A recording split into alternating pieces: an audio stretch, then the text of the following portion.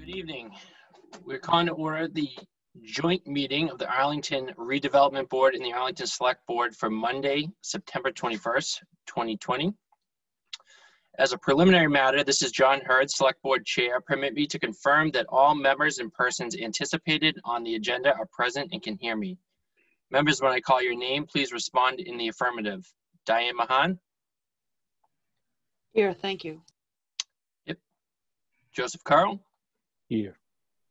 Stephen DeCourcey, Here. and Len Diggins. Here. And staff, when I call your name, please respond in the affirmative. Chapdelaine, Town Manager. Yes.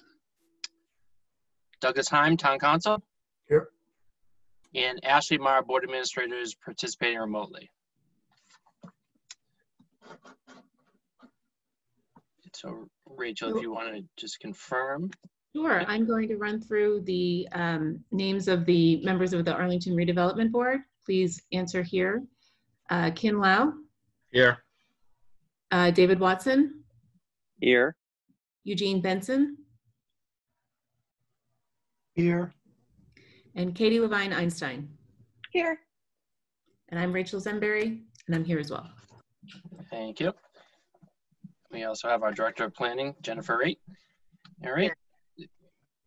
Good evening. This open meeting of the Arlington Select Board and Arlington Redevelopment Board is being conducted remotely, consistent with Governor Baker's executive order of March 12, 2020, due to the state of emergency in the Commonwealth given the outbreak of the novel coronavirus. In order to mitigate the transmission of the virus and reduce risk of COVID-19 illness, we have been advised and directed by the Commonwealth to suspend public gatherings, and as such, the governor's order suspends the requirement of the meeting law to have all meetings in a publicly accessible physical location.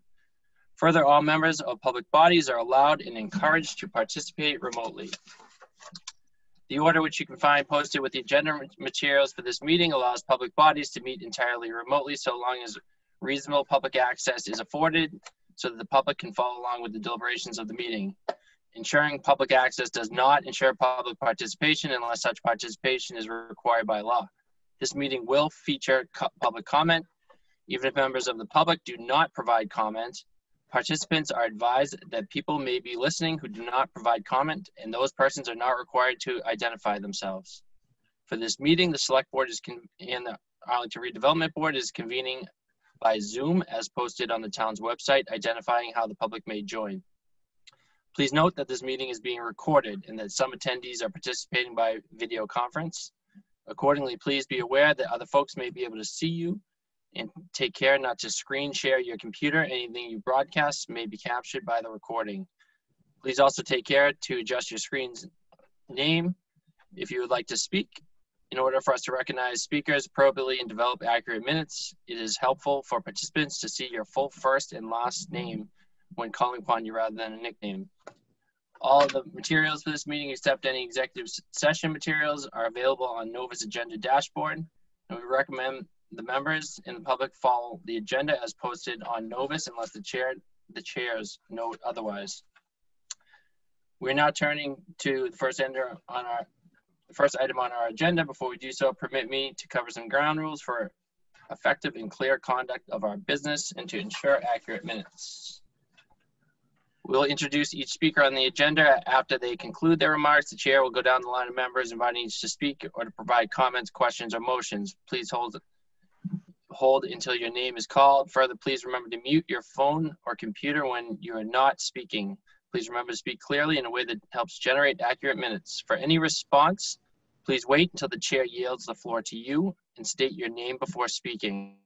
If members wish to engage in colloquy with other members, please do so through the chair, taking care to identify yourself. This meeting will feature opportunities for public comment on certain agenda items. After members have spoken, I, we as the chairs, will afford public comment opportunities as follows. We'll first ask members of the public who wish to speak to identify their names and addresses only. Once we have a list of public commentators, we will call on each by name and afford three minutes for any comments.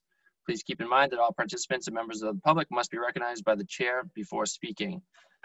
Any vote tonight will be taken by roll call vote. All right, as we open it up, that brings us to welcome in. So we did our introductions.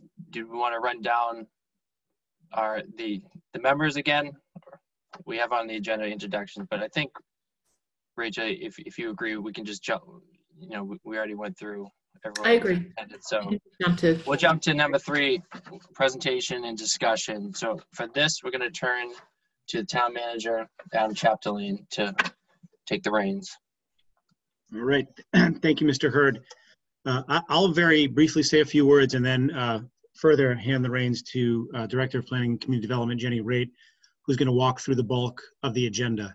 Uh, I- I'd like to start by saying thank you to all of you, uh, both boards, for carving out the time to come back and meet jointly uh, tonight.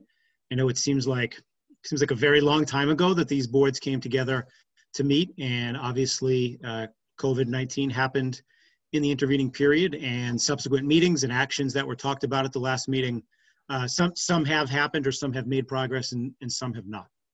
But uh, again, I, I appreciate that we're all here tonight because the conversations that these two boards can have together, I think are very important to the town. They're very important to the present of the town and very important to the future of the town. So though I, I don't, um, I don't actually foresee there being any actions taken by either board tonight, or at least I'm not planning on requesting any actions.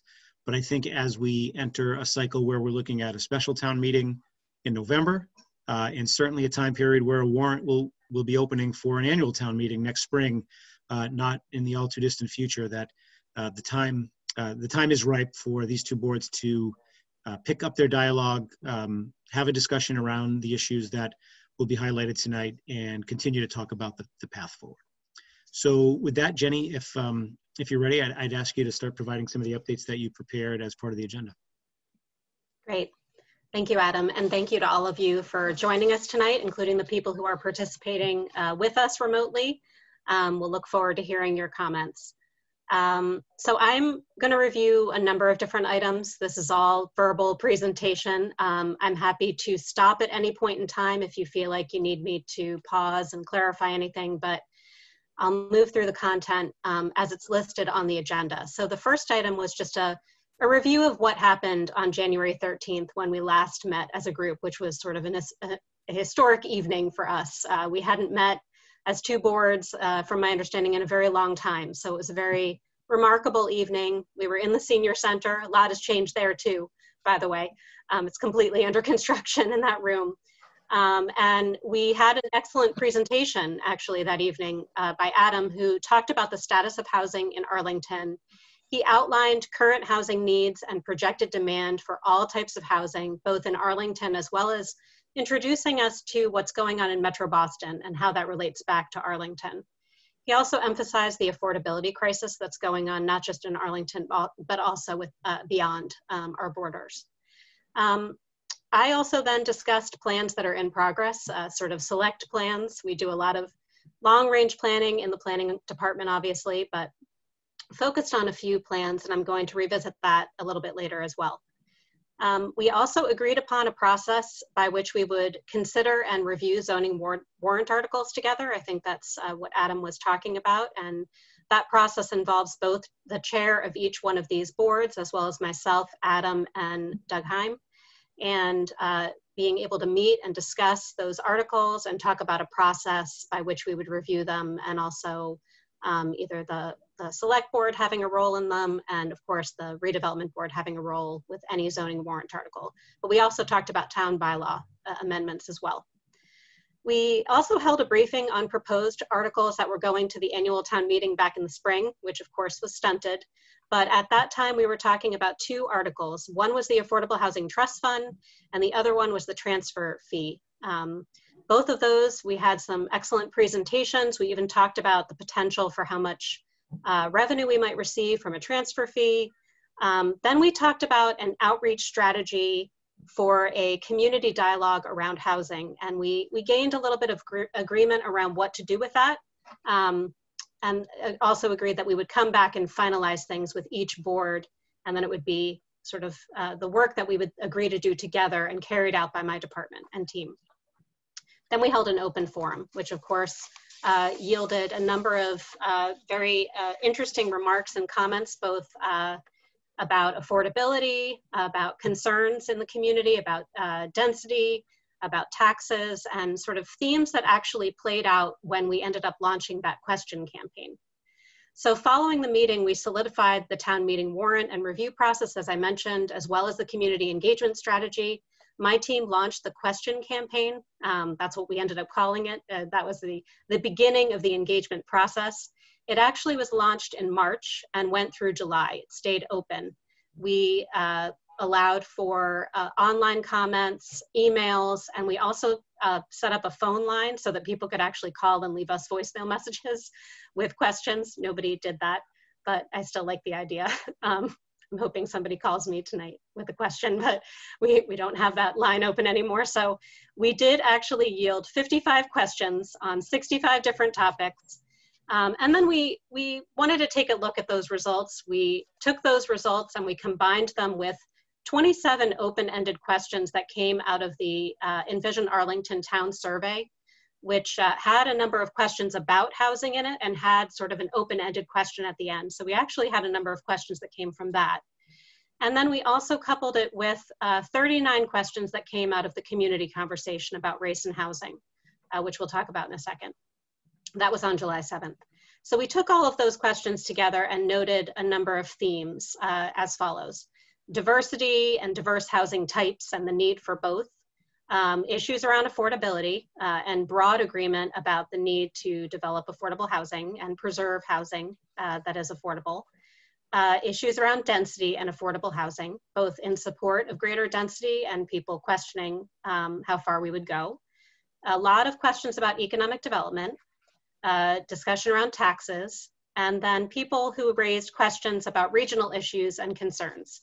We're still really sorting through the data, and I would say it's inconclusive. It's, we did receive a lot of questions, there's a lot of interest there, but I think a lot more needs to be done, and that's hopefully, you know, what's this conversation with both boards helps us to kind of get a better sense of the traction that we might gain again to either reopen a campaign or pivot and do something different. So, so that's what we, we yielded out of that conversation back in January, as well as the question campaign. In terms of various plan updates, we've been, some of you know this, of course, that we're doing a transportation plan for Arlington. It's called Connect Arlington. We'll be releasing the fact book on that soon, and we'll hold a second forum. We had a first forum that was somewhat well attended, a lot of engagement individually in the community on a survey, um, and a lot of individual comments uh, on the transportation plan itself. We hope to wrap that up by year's end. We're also doing a net zero plan. Some of you also know about that, which is uh, with the Clean Energy Future Committee. They've established uh, greenhouse gas emission measures and sort of thresholds to watch for and track and have created a draft action plan, which is currently under review. And that'll help us to achieve net zero by 2050 uh, per the select board's directive uh, around hopefully uh, gaining net zero. Uh, then uh, there's a couple of things that we've been studying. One is the economic analysis of industrial districts, which is meant, industrial zoning districts, which is meant to uh, help us to create zoning that would do a number of different things. First one is to support an increase in size and variety of spaces for light manufacturing and office spaces. Second is establishing parking requirements to support these uses and minimize the environmental impact of impervious surfaces. We also want to leverage the connection to the Minuteman Bikeway, which relates to pretty much all of our industrial zones. Uh, require sustainable and resilient urban design, and then support economic development. We're also developing design guidelines for single and two family structures in uh, the lower density residential districts, which are the majority of the town.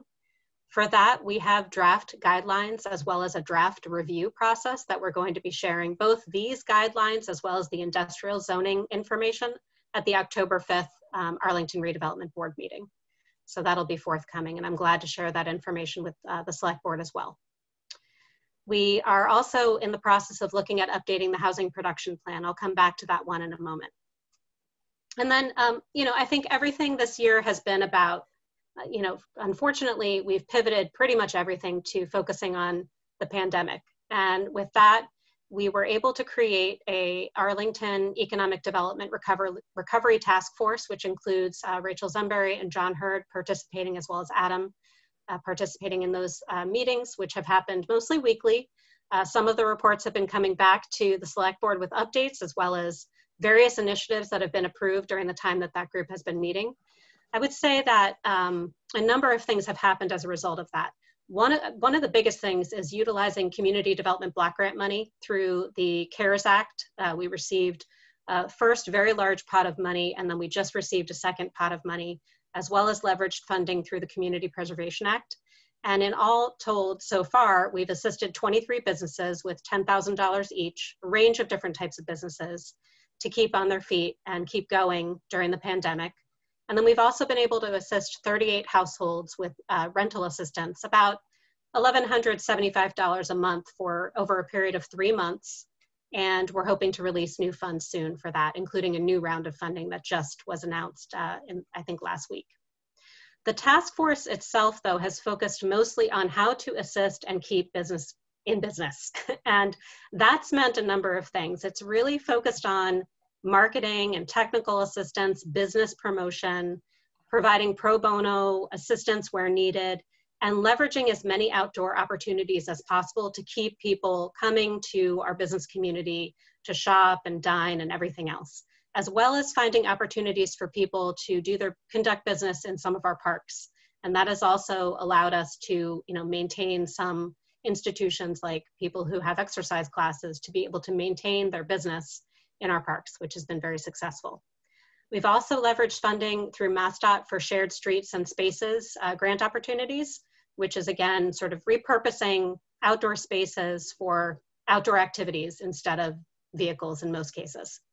And then lastly, um, application modernization, which is a, a, long sounding description of trying to uh, expedite our internal as well as our external review processes for all of our different uh, types of businesses that we permit, um, licenses, applications. They come to the select board, some of them come to the redevelopment board, and trying to, and to many other boards and committees, and trying to really expedite that through an online application process. And we're hoping that that can move ahead as well.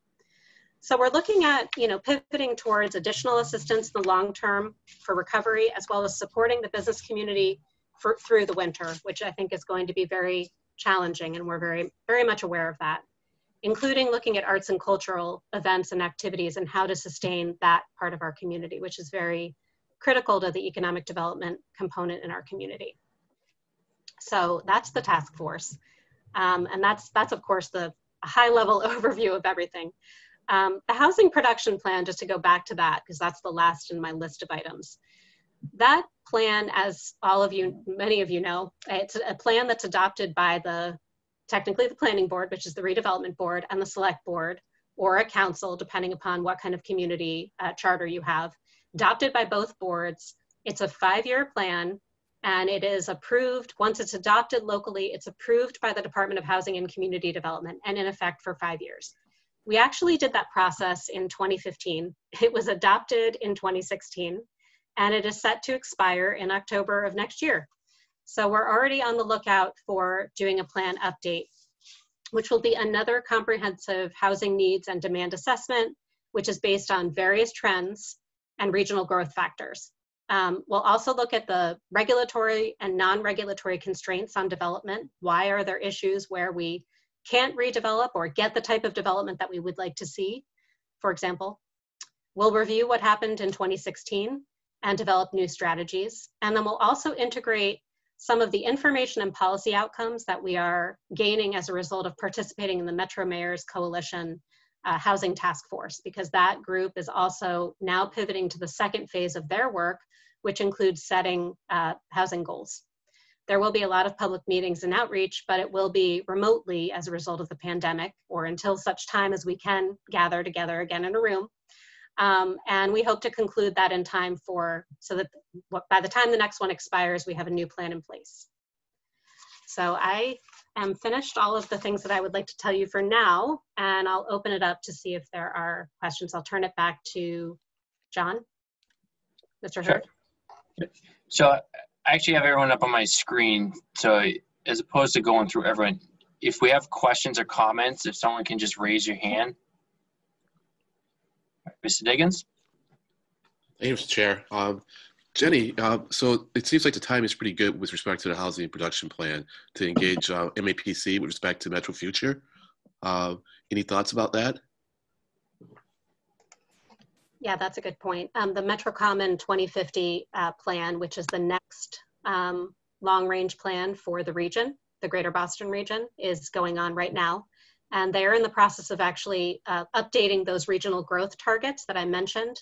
So I don't have an update on that specifically right now, but the housing production plan would be aligned with that process so that we are aligned with other uh, similar communities as Arlington um, and to reach those targets. Thank you. Mrs. Mahan? Um, Thank you, uh, both chairs, um, as well as our, our planning director. I guess I'll, I have five, five points. I'll just um, put them out. Um, If they can be addressed tonight, that's fine. If they can be addressed in the future, that's also good too. Um, Regarding the um, October 4th redevelopment board meeting that um, our planning director spoke to, of course, any information we can get, as well as um, any input or help that the select board can provide. Um, I'll leave it to um, our planning director and our chair to coordinate that, but I'm definitely interested in that. Um, regarding the pandemic economic development um, group that our chair and our planning director are part of. Um, first, I want to say thank you so much for you know really working with um, changing conditions and, and safety and health conditions. Um, having this committee and, and and having it go forward. Um, I know as recently as today, I emailed um, regarding uh, some questions I have gotten about helping outdoor dining businesses sort of sustain through the cold weather and um, through Mr. Hurd and Ms. Raitt. Um, I understand with Ally Carter uh, that we're addressing that. I don't know, maybe Jenny, if you could just talk about that a little bit, and I have three more points after that. But that that question came up a lot on like four or five different Facebook and email lists. Um, if you could just talk about that process and if I can get it back after that. Okay. Um, so the uh, the October 5th meeting, I'll be happy to coordinate with uh, through Adam uh, and get any feedback or comments uh, from the select board on that as well, on both the design guidelines as well as the economic analysis of industrial districts. Um, in terms of the outdoor heating, if you will, um, that is something any current business that has a license, an outdoor dining license, the temporary license that we've been issuing, they can contact Ally Carter directly um, or the health department if they need to, to update and have a review by the fire department for any addition of any outdoor heater or heaters that they would like to include in their outdoor space. Um, but it would be reviewed and then approved by the fire department as a separate, an add-on to our current permitting process. We are going to be amending the permit process to make it clear that any new outdoor licenses would include a review by the fire department, which is not currently part of the setup. Uh, but anything that is existing can uh, contact the town for a follow-up with the fire department to review and approve any heaters before installing them, please. Thank you so much. And um, I do want to say um, regarding, um, thank you, Mr. Hurd, through you, um, regarding the um, CDBG CARES Act outreach, um, the planning department sort of, not sort of, oversaw a coordinated eff effort where their employees and some other people who were volunteers, including myself and um, members of the committee that got news out to the businesses. So um, I thought that was uh, laudatory and, and wanted to note my thanks for that because I know we're all doing Zoom meetings and trying to do what we can do from home, but I really feel the planning department um, kind of took to the streets and uh, spoke to the businesses that we want to keep in Arlington who really didn't know about the CDBG CARES Act. Um, and I anticipate, hopefully, if they can get their act together down in Washington, D.C. and have a second allocation, that will replicate that. And I'll leave it to um, Ms. Raitt, our planning director, about getting any further outreach because the planning department staff, it's not that voluminous and it's hard to get that word out. So um, the other thing is, uh, let me see, I have one, two, three. Um, regarding the special town meeting coming up, um, I would ask um, through the redevelopment board chairman and the planning director that if there is, and if there is not, that's okay. But if, if there are any um, ARB articles that, as we discussed previously, that, um, that the select board um, should join you on, um, as soon as we can get that information, that's great. And the converse is true, if there are any uh, select board articles. But right now, from where the select board is going, um, we have 18 citizen articles that were carried over from the spring. Um, so as far as we know, there's nothing new there. Um, second to last point is um, when the my colleagues on the redevelopment board and planning director they think it's appropriate, and I kind of feel like it may have been put on hold because of COVID-19. The um, Gold's Gym industrial zone study. Um, any updates we can get on that? Uh, because I know that that's something I've long languished for um, under two previous town managers and town planning directors, but it's our current um, town manager and planning director that uh, put that out for bid to uh, look at our only industrial zone and have that as a study. But I anticipate that's sort of, you know, been put on hold. So I just wanted to throw that in there. And then the other thing is I was talking to our colleague, um, Clarissa Rowe earlier in the day, and we were talking about CPA and open spaces and um, how to best plan for that and what projects were going to be submitted. So I'd like to ask um, both the town manager and the planning director an idea that Clarissa and I sort of bantied about that we feel um, could or would be beneficial and not be a high ticket cost item. Clarissa estimated to be 10,000 or less. Um, because there's been a lot of talk around this subject. So we, we were talking about um, could the town, um, either through the town manager or the planning um, director, um, call for a sort of 3D schematic imaging uh, in terms of open spaces that we have here in Arlington. And we, we saw all different ways that it might be useful. Some have been um, from Arlington residents talking about um, projects proposed in open spaces and what the effects they feel would be. And Clarissa and I were saying if, you know, we had this 3D schematic imaging uh, available, it would either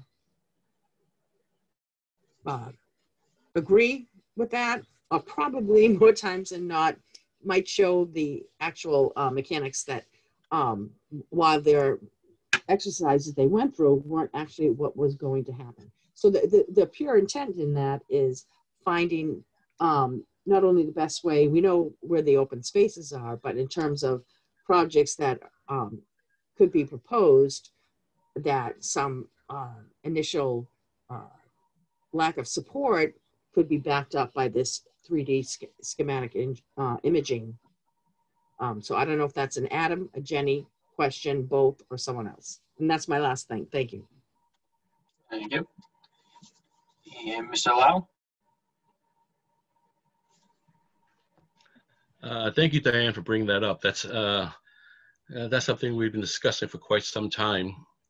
And uh, I, I totally 100% agree with you that uh, this SketchUp model uh, along Mass Ave um, would be a great tool um, for the citizens of Arlington just to understand um, where the massing of the buildings are existing and proposed, uh, where the open spaces are and where they may remain or be changed a little bit. Uh, and also, it's a great uh, um, uh, economic um, uh, tool that we can use to encourage development um, in town. Because it's a tool that um, you can say, okay, I can uh, here's where I can build, or here's here's what my uh, here's what I what I the massing I can build, or uh, sh- uh, which shows uh, um, shadow studies. It, it shows how how it interacts, and it might bring back to also uh, circle around to zoning, and you can see how uh, all all the properties along Mass Ave are cut up in these little small pieces, and it may be hard to, uh, to actually go forward with uh, any any development. And maybe there's some maybe there's uh, some talk about maybe combining or rezoning certain areas where we can encourage uh, some growth, planned growth that is, that would address housing, it, it would address um, the industrial, it would it would address uh, business, mixed use, all that stuff. And I think this would be a great tool, and uh, I would 100% encourage. Uh, I would help any way I can t- to make this come through. I think this is a great tool. We talked about this uh, a while back, and uh, I'm glad you brought it up. I'm glad you, uh, um, you know, I would, I would be willing to answer any questions where if what we can't do, we can't do. But I really encourage that we we do this. Uh, thank you. Mr. Chapdelaine? So I, I want to answer um, both Ms. Mahon and Mr. Lau's uh, point, but um, another member just let me know that people watching on cable don't seem to be able to hear us. So Sean Keen from ACMI, I don't know if you could check any of the settings and see if there's something that can be toggled to help those watching uh, on on television and be able to hear the speakers.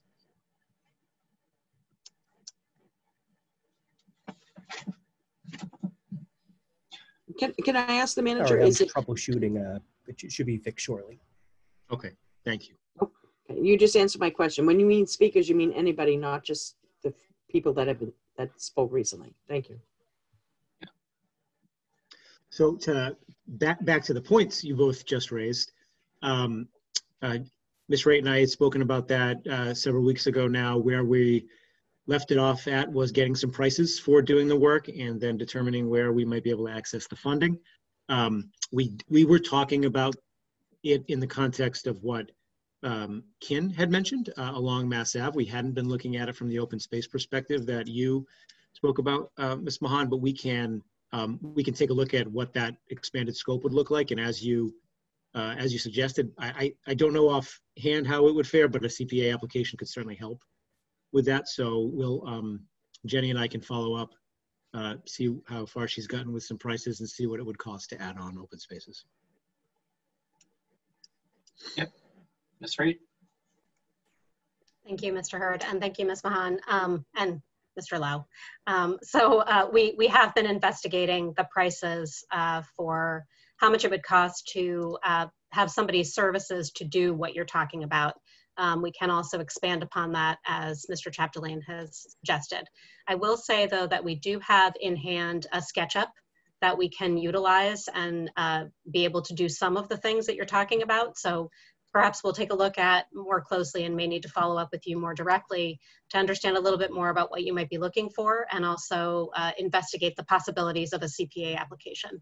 Um, I just want to say quickly thank you also for complimenting my team and the work of my team, which I did not specifically call out, but it, without that team, I could, wouldn't be providing you with that very long update about various plans and activities that I just suggested um, including Erin Zwirko, Ali Carter, Kelly Linema, Dan Amstutz, Ken Pruitt, um, and the, Emily Sullivan, the rest of the group. Um, we have a new hire actually who's doing community development block grant, Mallory, Mallory uh, Sullivan.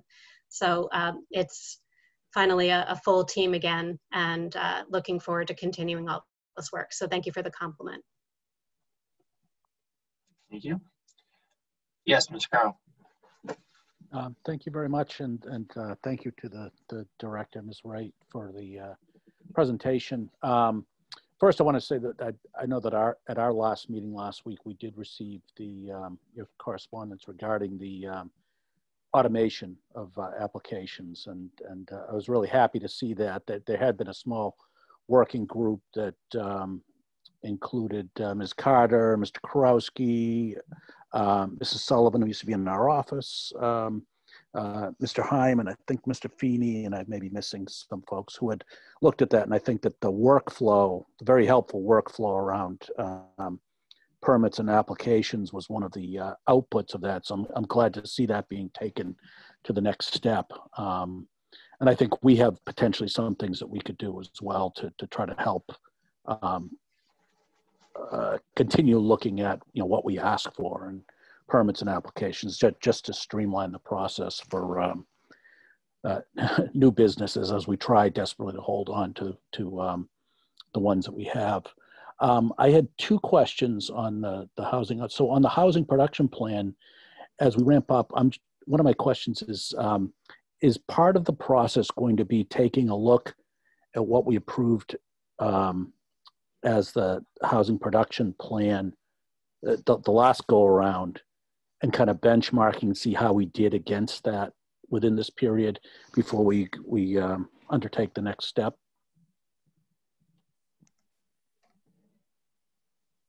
um, yes we will be benchmarking to determine what we've achieved and also getting a better sense of what we couldn't achieve and why, um, which was outlined in the 2016 plan. We've already got a good sense of that because we work directly with the Housing Plan Implementation Committee and as, as well as the Master Plan Implementation Committee to get a sense of how much we've achieved and progress on implementation. Um, a number of things that haven't happened are many zoning amendments actually that we had hoped to achieve in order to achieve housing production goals but there have been things that we have achieved with the Housing Corporation of Arlington and in a couple of other instances where we were able to produce new units or preserve existing affordable housing. So we'll we'll definitely be doing that in more detail in the update. Great, thank you very much. Um, and then uh, lastly, um, you know, I'm glad to hear the work to to distribute the the rent support for folks who who are uh, struggling um, during this time. Um, you know, one of the things I lose sleep over is is when I read stories about the potential of an impending eviction wave um, in the country. And I don't know if you're getting any signals on the basis of inquiries around that support or not, um, uh, around that being a, a, real and present danger for Arlington. I have not directly received any um, notifications to that effect, but I'm certain that Erin Zwirko has received people contacting us asking for assistance, um, looking for various kinds of assistance, uh, sometimes confusing us with the Arlington Housing Authority um, or the Housing Corporation, but generally just uh, the challenge of navigating the process and needing help right away. We find that all the time, uh, regardless of the pandemic, actually. But um, I would say that it is ex- definitely exacerbated by the pandemic. And we are, I also lose sleep overnight, uh, many nights over this issue, and um, think that it's very important for the town to be finding as many ways as possible to assist if it can. So the, the funding that we have and the new funding that we received from CDBG, the most recent amount, um, that might be used to provide additional assistance and support to tenants to stay in place. Okay, great. Thank you very much. Thank you. Mr. DeCourcey? Uh, thank you, Mr. Hurd. And uh, Hurd, I, I, do want to start by echoing my colleagues' uh, comments, thanking your team. Um, we receive a number of presentations throughout the year um, from members of your staff, and it's it's it's it's enlightening, and it, it it's also um, you know just just helpful for to uh, keep us abreast of what's going on in town. So thank you for that. Um, just a question on sustaining businesses, um, and Mrs. Mahon brought this up earlier, but I, um, it, it is getting colder out, and, and I had an experience at a restaurant in town over the weekend, and it just really concerned me because the opportunities for outdoor dining um, are going to become more limited, and, and um, I'm wondering within the aid that is provided to businesses, is, is there potentially CDBG funds that, that could be available to, to help purchase like hard goods to, to, to help uh, businesses with, with outdoor seating, or is this more or less related to just keeping the operations going and, and, and payroll type um, functions? We're exploring what we can utilize with the latest amount of funding, and we do actually have a small amount remaining from the first pool of funding that I mentioned. So we, we made awards to uh, actually not as many businesses as we could have. So we're going to go back to businesses that had requested funds but didn't end up completing the application originally uh, to see if they're interested. But then I think trying to figure out a way that we can build in the supports that you're talking about to sustain uh, businesses through the winter. Because yes, I think they will need assistance. Great, thank you. And just a, a comment too, you, you, talked about the housing production plan and about the um, industrial zone study that was just being completed. And, and we just went through this process on the Mirak site at 1165 Mass Ave. And one of the things that we were confronted with was, um, frankly, some inconsistencies between the housing production plan and, and its call for perhaps overlay zoning districts that would allow for residential in the industrial zone and the economic analysis, which basically said no residential in, in, in industrial zones. And, and I know that study is just about complete, but it, it, it seems to me that to the extent that we have studies going forward in different parts of town, um, unless the, the consultant feels that, that that recommendation may not be valid and, and it should be changed, it feels like that's going to be incorporated into the analysis because you have some inconsistencies and you try to work your way through them. But it's it's uh, that that one was was glaring as I was going through that study. Um, I will just note the earlier comment by Ms. Mahon about Gold's Gym, that's incorporated within the economic analysis of, of industrial uh, districts. So we will be talking about that district, uh, that zone, as well as all the other zones. So that's related to the October 5th presentation. And then to Mr. DeCourcey's point, um, yes, there are definitely some, some things that might uh, present some inconsistencies. I think partially it's because we're looking at trying to support as many options as possible. So I think at one point with the housing production plan, we had hoped, and we still hope, that a 40R zoning overlay district could be something that we might explore in town, either led by the town or in partnership with uh, somebody in the community.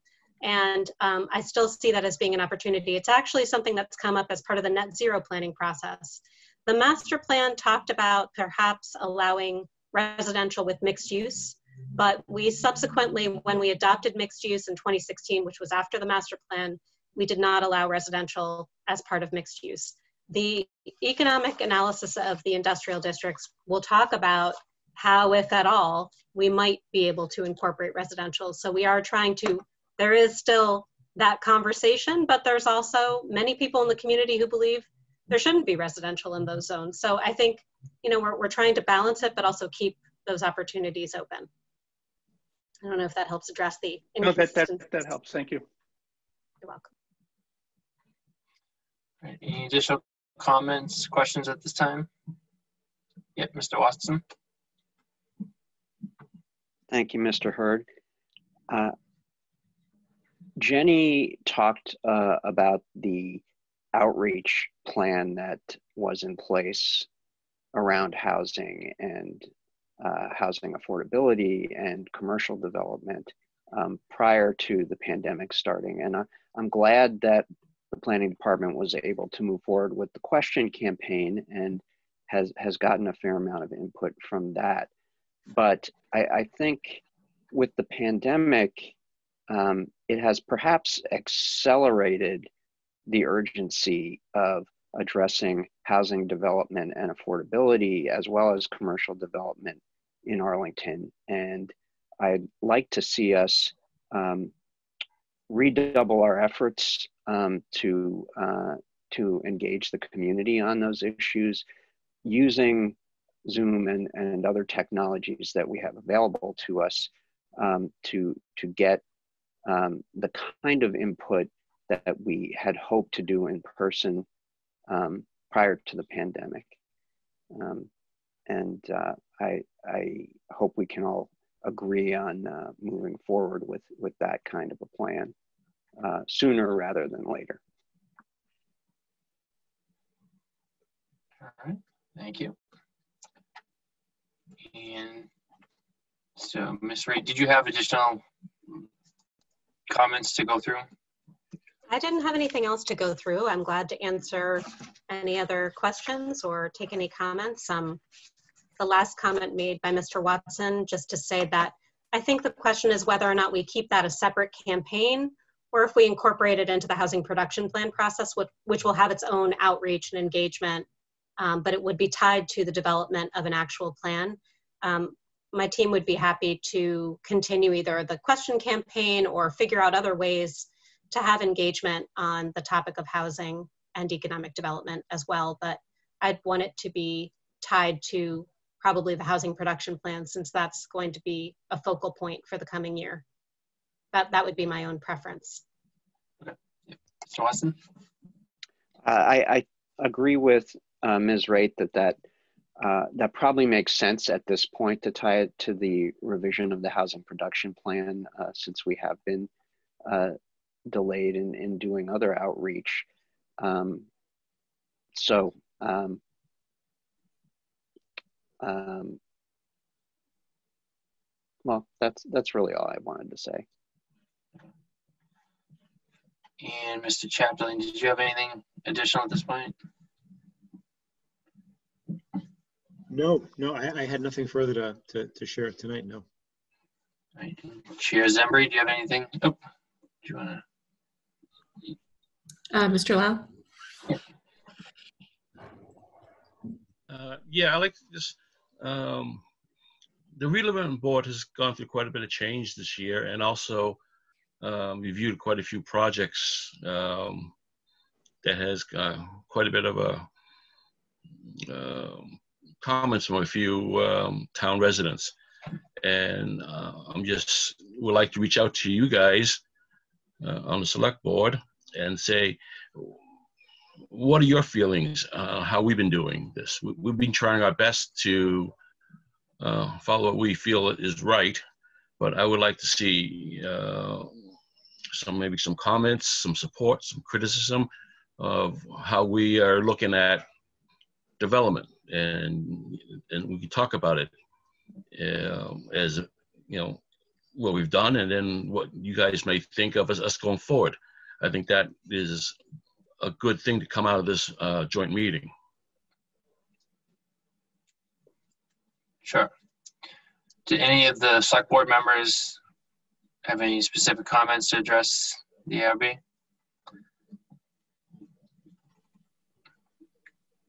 Mrs. Mahon? Um, um, they just heard, um, Diane, we're having some trouble with your audio. of The select board and ARB relationship, I can say. Oh. How about now? Or should you want to come back to me? Now I can hear you. I can hear me, okay. Um, I, I want to, since I I was Sorry, it's elected in Diane, it's still breaking up. 1999, um, former, former town manager. You know what? I'll jump in later. See if one of my So colleagues not with a better connection can. All right. Do you have any additional comments from the select board?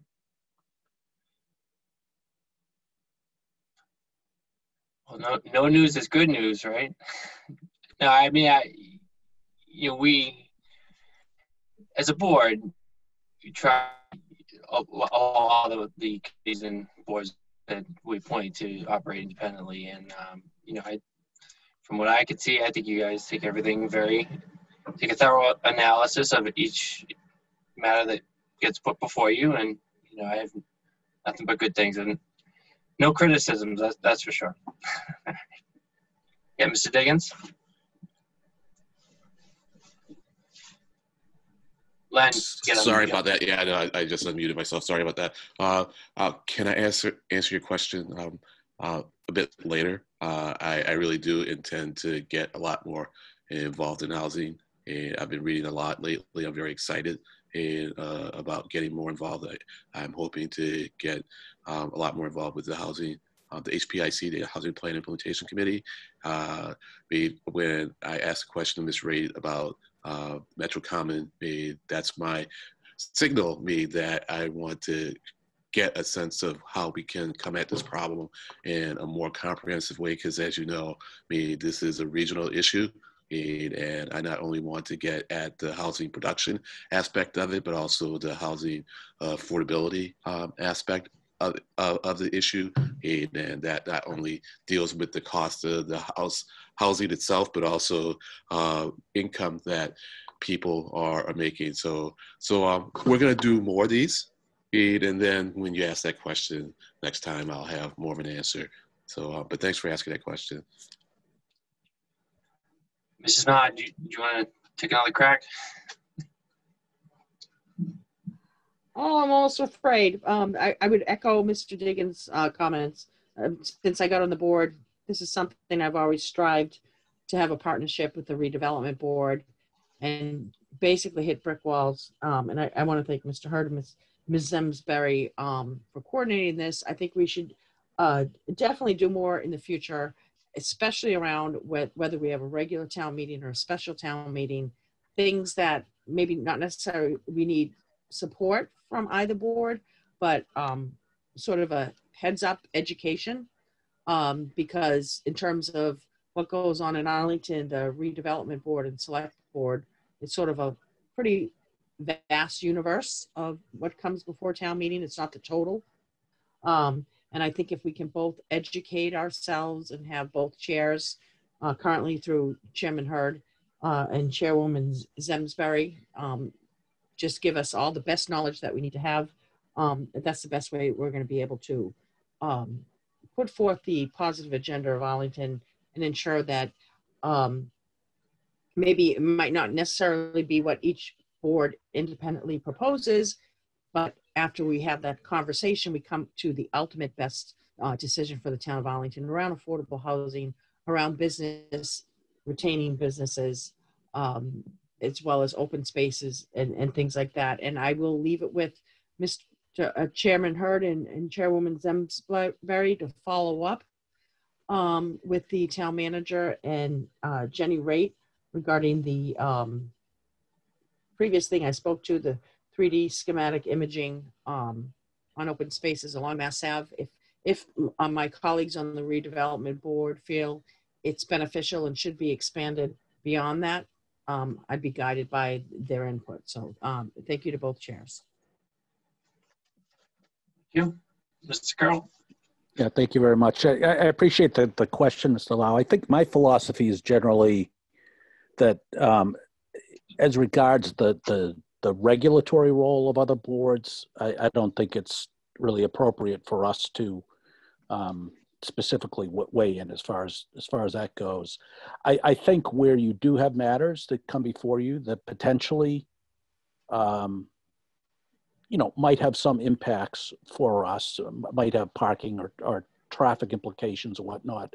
I think just um, it might be helpful for us to have advisories just at, at some point, just just to understand what what went into a decision, because we might, you know, we might feel the downstream impacts of that. But that's not a specific criticism, criticism or, or comment. It's just um, a, a suggestion. I I think that there's a lot of benefit with this forum, though, um, in trying to align on um, you know policy prerogatives, and I think that that's what brought this these um, joint meetings, um, you know, in, into being. So I think as as we agreed at our last um, last joint meeting, I think that having us on on um, weigh in on certain you know policy proposals to town meeting uh, makes a lot of sense. Um, I think maybe you know the next iteration of the of the housing pr production plan. I know that uh, I believe both boards had to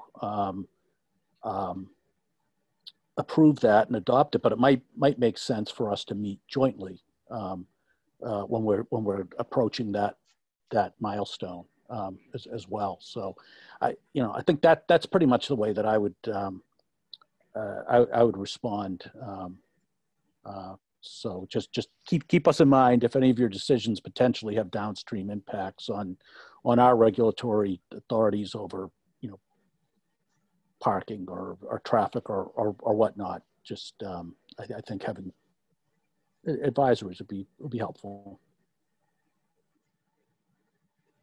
Mr. DeCourcey?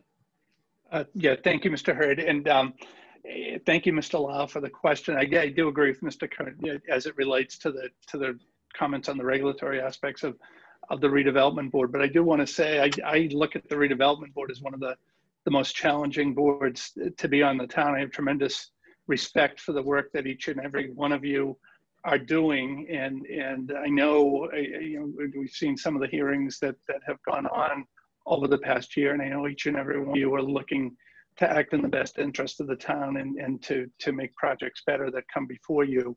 Um, but I, you know, beyond that, I, I, I, don't feel it's appropriate to comment on, on individual things, but I, I appreciate the service that each, each of you is doing. And, and I know from talking to people who formerly were on the board and uh, over the years, it's, it's, it's a big ask and it's, it's, it's very technical and it's very detailed work and, and we appreciate it.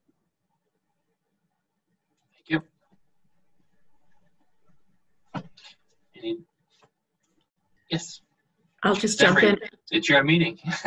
well, I, will just jump in. I didn't want to speak over anybody. Um, yep. I just want to thank you all, every every member of the select board for your for your comments, and um, I, I, also just wanted to to make an observation that I know that over the past couple months it's been very challenging conducting these meetings um, uh, remotely and for all of the things that we're all facing, but there are certainly some positives that have come out of it. I've certainly noticed that the um, participation in our in our meetings um, has has gone up from people sitting in who normally wouldn't attend, be able to attend um, attend meetings. So I, I, actually hope that when we're able to meet in person, that the opportunity to to still broadcast via Zoom um, still ex exists. Um, it, it seems like there's been more engagement, which has been wonderful to see. I'd be interested to, to hear your thoughts um, on the select board if you've observed anything similar. And, uh, you know, I also appreciate the having had the opportunity to work uh, on the Arlington Economic Recovery Task Force with Chairman Hurd. Um, it's, it's been great to bring both of our perspectives together as we're working together with the businesses in town um, and to, to see where there are opportunities for the select board to to assist as well as those of us um, from the redevelopment board to to really um, bolster the the businesses in town when they when they need it the most. Um, and, and I'm really encouraged by things moving forward out of necessity but really um, really pushing us us forward as a town with things such as the automation of applications and the streamlining of um, approvals processes. So I just wanted to take a moment to acknowledge some of the um, the things that have I think are actually going to help us significantly as a town that we've had to do out of necessity um, during these times. Thank you. Any additional comments? All right. So I think Mr. Diggins had his hand up. Oh, Mr. Diggins. Well, well, thanks, thanks, uh, Mr. Curro. I mean, I was going to let it go, but I was just going to answer uh, um, um, um, Ms. Um, Ms.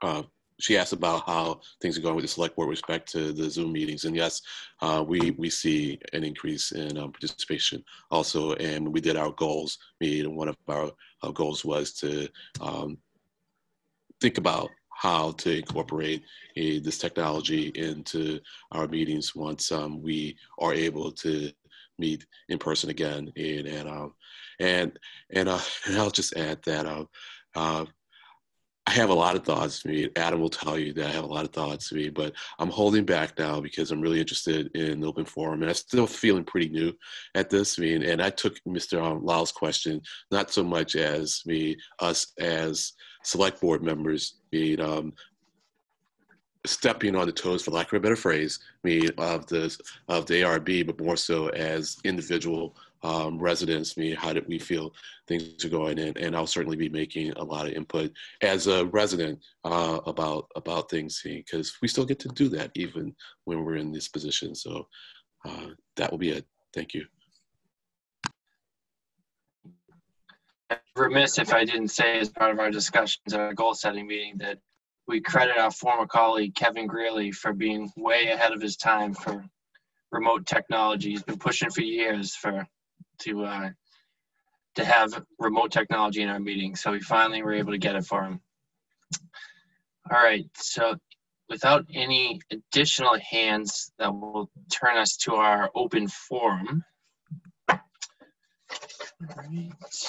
So now, at this point, if you can use the raise hand function on your Zoom application, if you want to speak at the open, open forum, it will generate a list. Except in unusual circumstances, any matter presented for consideration of the board, the boards shall neither be acted upon nor decision made the night of the presentation in accordance with the policy under which the open forum was established. It should be noted that there is a three-minute time limit to present a concern or request. Will generate a list. There is no limit on what to be spoken about, but I just note that we anticipate a long open forum, and if anybody is reiterating a comment that's previously been made, please try to limit that. And so with this, I will turn to our town manager to generate the list. So, uh, Mr. Chairman, we, we have about 20 hands raised. Um, do you want me to just read them to you one by one? Would you like me to give them to you as they're raised now? How- would you like to handle that? You can give them one by one. Okay, so the first name, uh, first hand raised is Kevin Heat. Right. And we can promote him. Okay.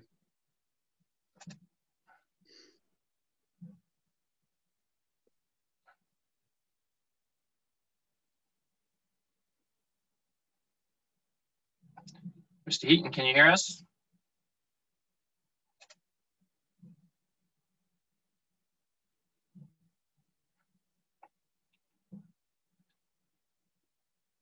Mr. Heaton, can you unmute yourself?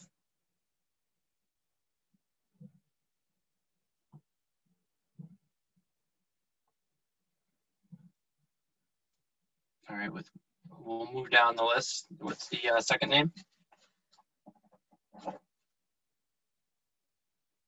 Sorry, Patricia Worden. All right, you can promote Miss Worden.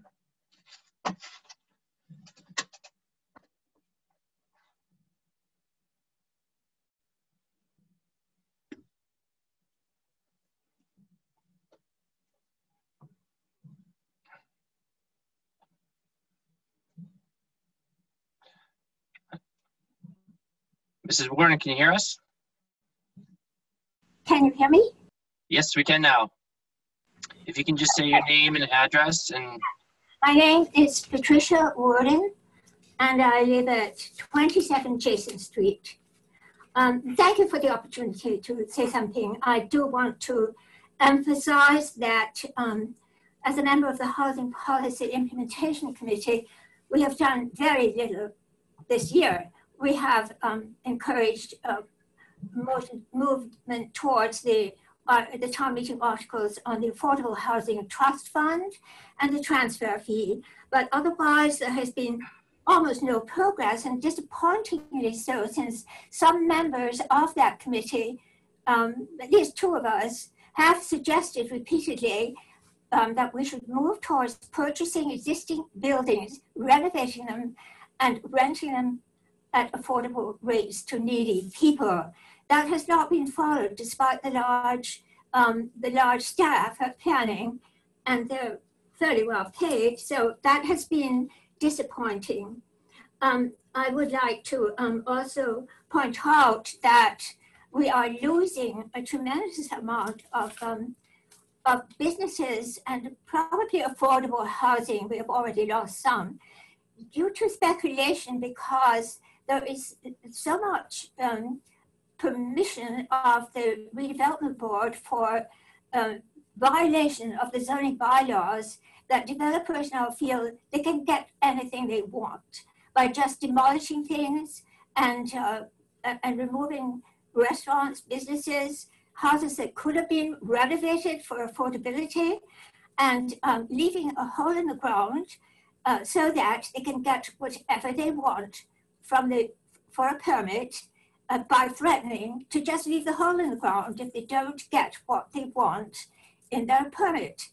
And that is not a rule of a, a, a community that has rule of law. It's a rule of, of extortionists, actually.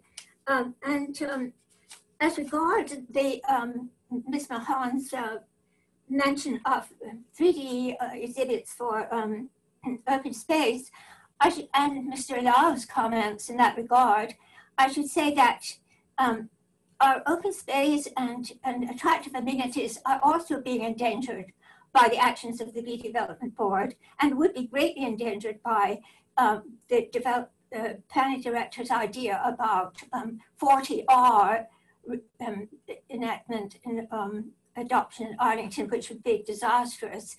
Just take, for example, the recent situation at 1500 Massachusetts Avenue, where there was a very attractive set of tree, huge trees and um, a house that had three units in it. It's going to be destroyed because the developer hopes to get an illegal apartment in there with a commercial unit so that he can call it mixed use, but it isn't really proper mixed use because one of the uses is not allowed in that district. Also, that is a very attractive area. Across the street is one of the loveliest areas in town, which is the start of the mystic uh, of the. Mrs. Worden, you're just over three minutes. If you can just wrap up that thought. So I would hope that there will be a great change in the redevelopment board's approach to this town, and I hope we can do more work on the Housing Policy Implementation Committee. Thank you. Thank you. All right, we'll move on to our next speaker. Next speaker is Donna Kelly Williams.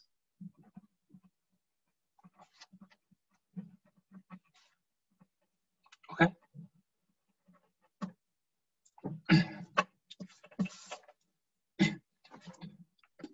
Mrs. Kelly Williams, are you with us? I am. Thank you so much for taking my um, comments again tonight. Um, my name is Donna Kelly Williams. I live at 110 Mary Street in Arlington.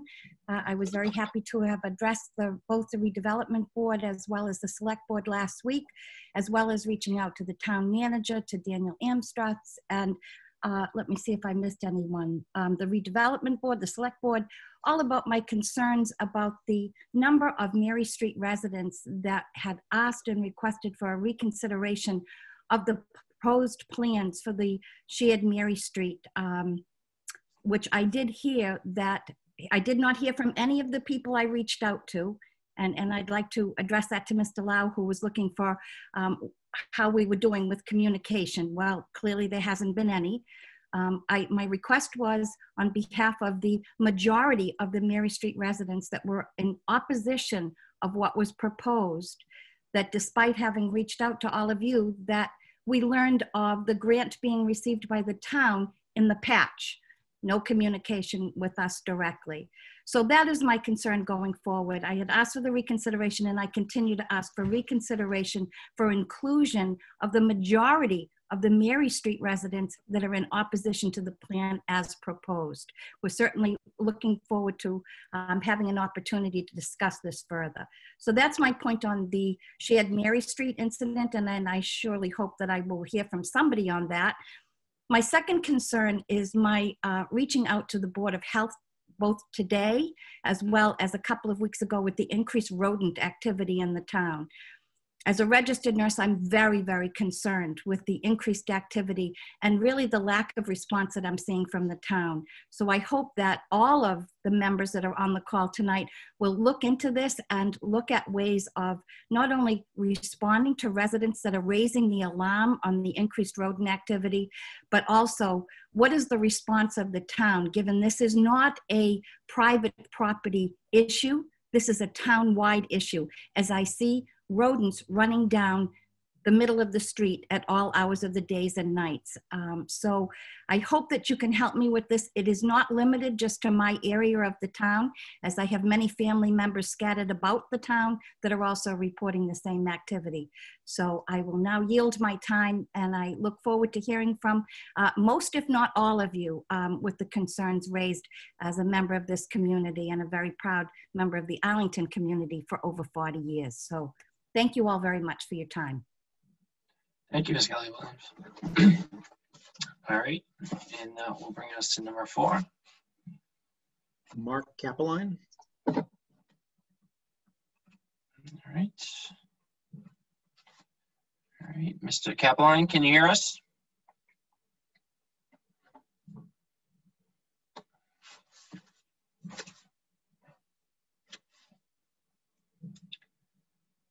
Mr. Kaepplein, if you can just unmute yourself.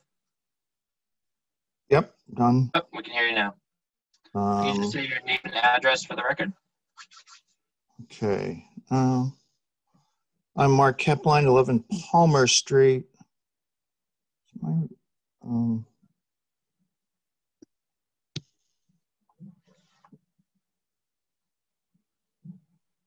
yeah, I don't see myself.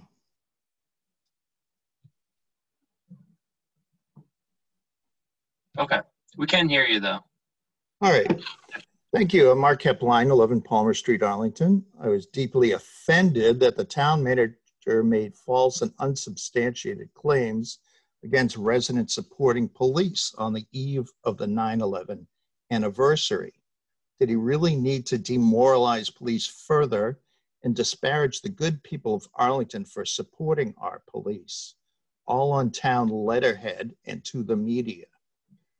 The weak innuendo was surely sourced from the hateful group calling itself Arlington Fights Racism, which he then spread across the media, collaborating with AFR to intimidate residents from exercising their rights to free speech and assembly is unforgivable. His actions fueled AFR's campaign to draw outside agitators to Arlington and harass police supporters. While America Backs the Blue has only been associated with peaceful support for our public safety professionals, BLM events are associated with rioting, burning, looting, and murder, costing an estimated billion dollar losses. BLM signage represents lawlessness and has no place in Arlington, and certainly not on public buildings, schools, in the face of Arlington residents and not as an affront to our police. All these banners need to be removed from public property and sign bylaws enforced.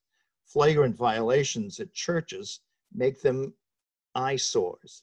Only after Black Lives Matter changes their name and clenched fist logo should signs be reconsidered.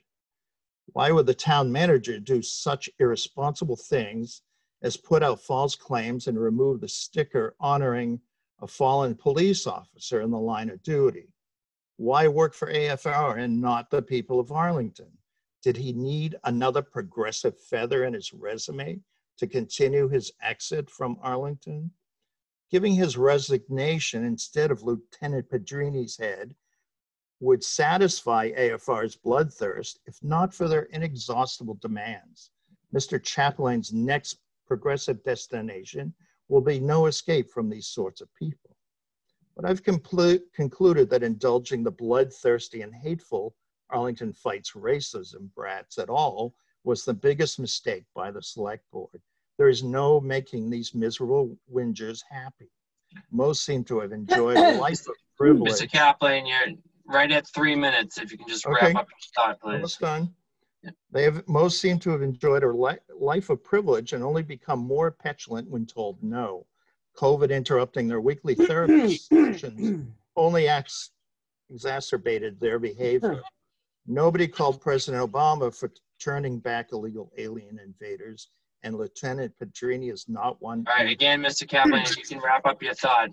We have 20 people Imagine supporting law, order, and safety as an act of hate to them. Thank you. All right, and number five on our list. Uh, Carl Wagner. All right, we can promote Mr. Wagner. Recorded. Hi, can you hear me okay? Yes, we can. You can just Great, say your hi. name and address for the record. Yeah, this is Carl Wagner. Uh, I live at 30 Edge Hill Road in Arlington, Mass. Um, I wanted to uh, thank everybody on both boards, the Select Board and the ARB, for the job that you've been doing. This has been an incredibly difficult time, not just because of uh, Zoom meetings, but because of everything that the coronavirus and the and, and, and terrible raging of the uh, pandemic has brought to us. Um, notwithstanding Mr. Kaepplein's relatively uh, offensive comments, uh, there is also the the huge issue of BLM and all the other stuff going on, which people care a lot, and the town is also having to deal with. So thank you to um, you folks who are civil servants who are working through that. I did have several points I wanted to make. Um, and this is really important, this meeting. I thank you for doing this and including the public and including us visually. Um, I, think I'm going to address uh, some points about ARB meetings in the future, uh, where visual uh, meeting attendance by the public is not allowed. Anyway, I think the, the select board really has to indicate to the ARB that it should follow the rules and the bylaws that are set by the people, the voters, the residents of Arlington. Recently, we have seen, those of us that attend through the Zoom meetings, that the ARB decisions, at least, not to speak of individuals on the ARB, but the ARB decisions have been creating really dangerous situations where the laws are just being overlooked or disregarded as if they're uh, reference points rather than actual things that have to be maintained. Um, this is concerning and it sets a dangerous precedent for a lot of small parcels where a lot of small businesses are currently just barely making ends meet. And if those properties turn over, and I'm talking about Toraya as number one, and uh, other areas can be thought of in the, in the East Arlington and center of town, those small businesses will be lost. The density will come in. The new apartments will be much more expensive. So it's very important the ARB follow the rules and laws. Secondly, I'd like to ask that there are only five of you who should recognize what the policy that benefits the people, the residents, the taxpayers in town is. And you should direct with your energy what the what the ARB does and the town employees, such as the planning department and the town manager, to make the first and most important uh, stakeholder, us, the people who live and work here. Those are general items. Specifically, there are three things I wanted to point out. Specifically, it's been a real problem in very, very recent ARB meetings that the public's input has been limited during coronavirus. Uh, time limits were imposed, video has been taken away from the public, and materials are posted later than required. This is a problem. It really should change. Uh, number two, board decisions, as I mentioned, are really not keeping with laws and rules in Arlington. This is very dangerous and it's probably illegal. Number three, the town has held several racism community conversations. Unfortunately, two of these untruthfully attempted to say that housing zoning or building zoning is racist or is equated with racist. That's just totally wrong. And I've got to call out the town manager, unfortunately, even though I support what he's doing normally with coronavirus and to try and fix the Pedrini situation. In one of these meetings, the first one, the town manager said, Mr. Wagner, if I can just say, because you're at your three minutes, if you can just wrap up your finish my thought. sentence. The town manager said that people who are opposing his urbanization, density, and removing of zoning laws are guilty of dog whistle racism. And while I don't support what Mark Kaepplein said in its entirety, I am completely offended that I am a dog whistle racist because I want to make Arlington affordable and diverse for all. Thank you.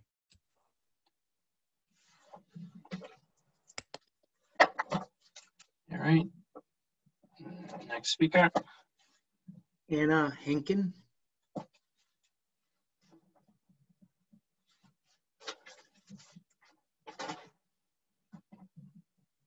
Ms. Henkin? Yep. All right, we can hear you. If you could just say your name and address for the record. Hi, Anna Hinken, 11 Marion Road.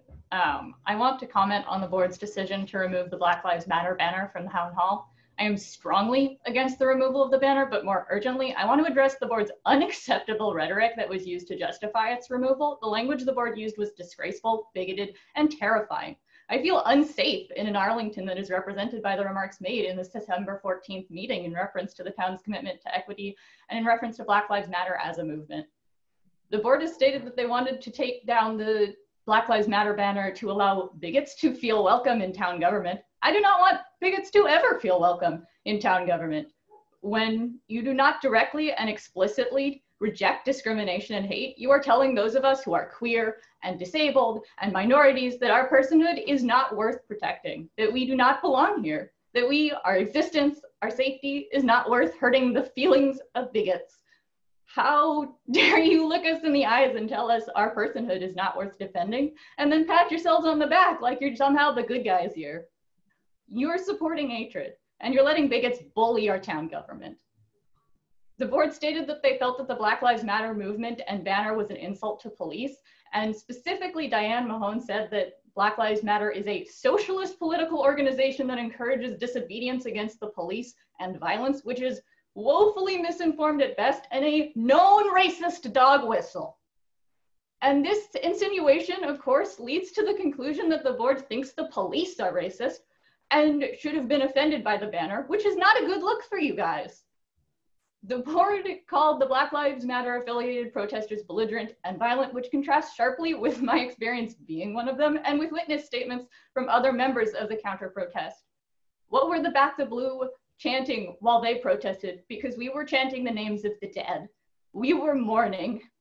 We have been threatened. We have been intimidated. We have had slurs hurled at us every day at vigils. Those vigils are every day. Arlington residents gather every day to make our commitment to racial justice known. And we had hoped the town government stood in solidarity with us. We were wrong. Removing this banner is clearly not a move to represent the community or show that we value justice and equity in Arlington. This is a move that capitulates to loud, angry bigots. The rhetoric surrounding the removal of the banner shows that the select board only sought to appear committed to justice when it was a good PR move and not when it was hard work. The board should not remove the banner and should apologize for the harmful and dangerous rhetoric espoused last week. I yield my time. Thank you. And next speaker. Speaker is Rebecca Gruber.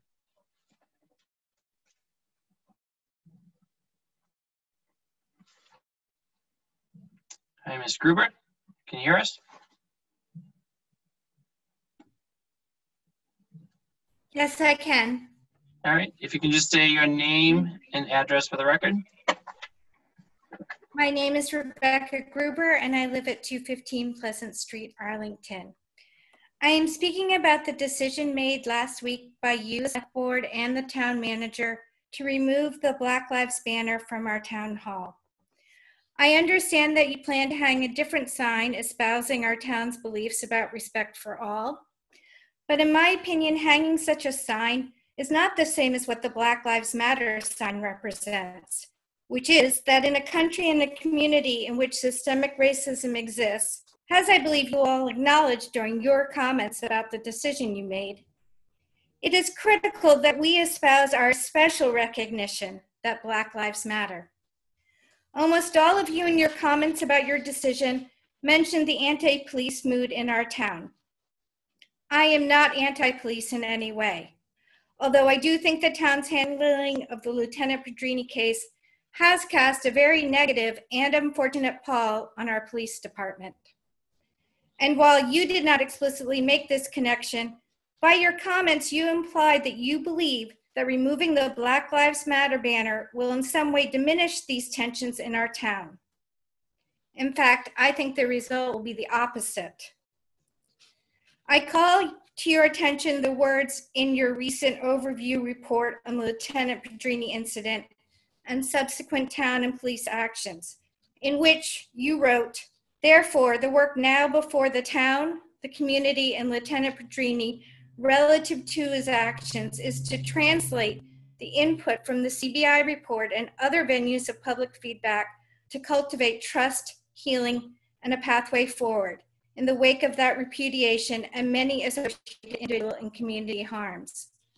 Continuing to hang the Black Lives Matter from our town hall is one way to cultivate that stated desire for trust, healing, and a pathway forward. I hope that you, our town leaders, will do the right thing and reconsider your decision and keep the Black Lives Matter banner hanging. Thank you for your consideration. I'm done.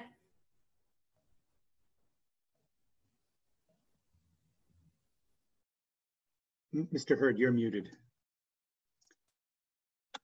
That's why I never mute myself. Next speaker.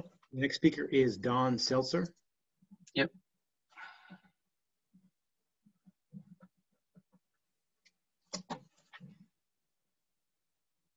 Mr. Seltzer, can you hear us? Yes, uh, thank you. Um, before I begin, could I have my slides brought up on the screen? With, with the chair's assent, I can put those. Yep. Thank you very much. I appreciate it. Thank you to both boards, Don Seltzer, Irving Street. Uh, for a change of pace, I'd like to talk about our um, commercial base. Next slide, please. Here are all the communities in Massachusetts that collect more than $100 million in property taxes, ranked by the percentage that comes from their local businesses. Arlington is on the far right. We're dead last. Next slide, please. Here's another comparison looking at the Metro Mayors Coalition, a group of 15 cities and towns that have joined together to pursue common interests. The other 14 cities have nearly half of their property tax revenue coming from business. Arlington is completely out of place in this group with only 5.6%. People live and work within those other communities. Not so in Arlington. 93% of our residents have to commute elsewhere. Our needs are different. Our goals should be different than these communities. We always talk about walkability as being one of Arlington's best features, but walkability only matters if there's something to walk to. Arlington's vibrancy comes in part from having neighborhood shops, restaurants, supermarkets, pharmacies, laundromats, medical offices, and similar services that we can walk or bike to. Lose those and the whole character of the town changes. Next slide, please, Jenny. Back in 2016, we thought we had a solution, the mixed use bylaw. It was supposed to strengthen our commercial districts and discourage landlords from converting businesses into apartments. It just hasn't worked out that way. There is even more incentive than ever to convert. Next slide, please. This is the Toraya block with five valued businesses and their employees. Half a dozen zoning bylaws were either bent or broken so that it could be converted into an apartment building with a single token storefront, too small and narrow to really be of much use. We have set an unfortunate precedent here, one that will be exploited and repeated elsewhere. Next slide, please. Will the heart of Capitol Square be next? The same landlord owns the block at Lake Street and Mass Ave and has been clearing out the businesses there. Next slide. After that, it could be Arlington Center. Again, the same owner for Medford Street and Mass Ave. We need some balance to be viable as a community. We need to be more than just a bedroom for Boston and Cambridge. Thank you for your attention. Yep. All right. And Mr. Chapdelaine. Uh, the next uh, hand raised is Micaiah Healy. All right.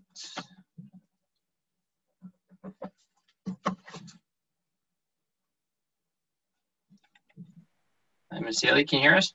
Hello, I can hear you. Uh, can you hear me? We can. All right. Oop, let me start my video so you can see me.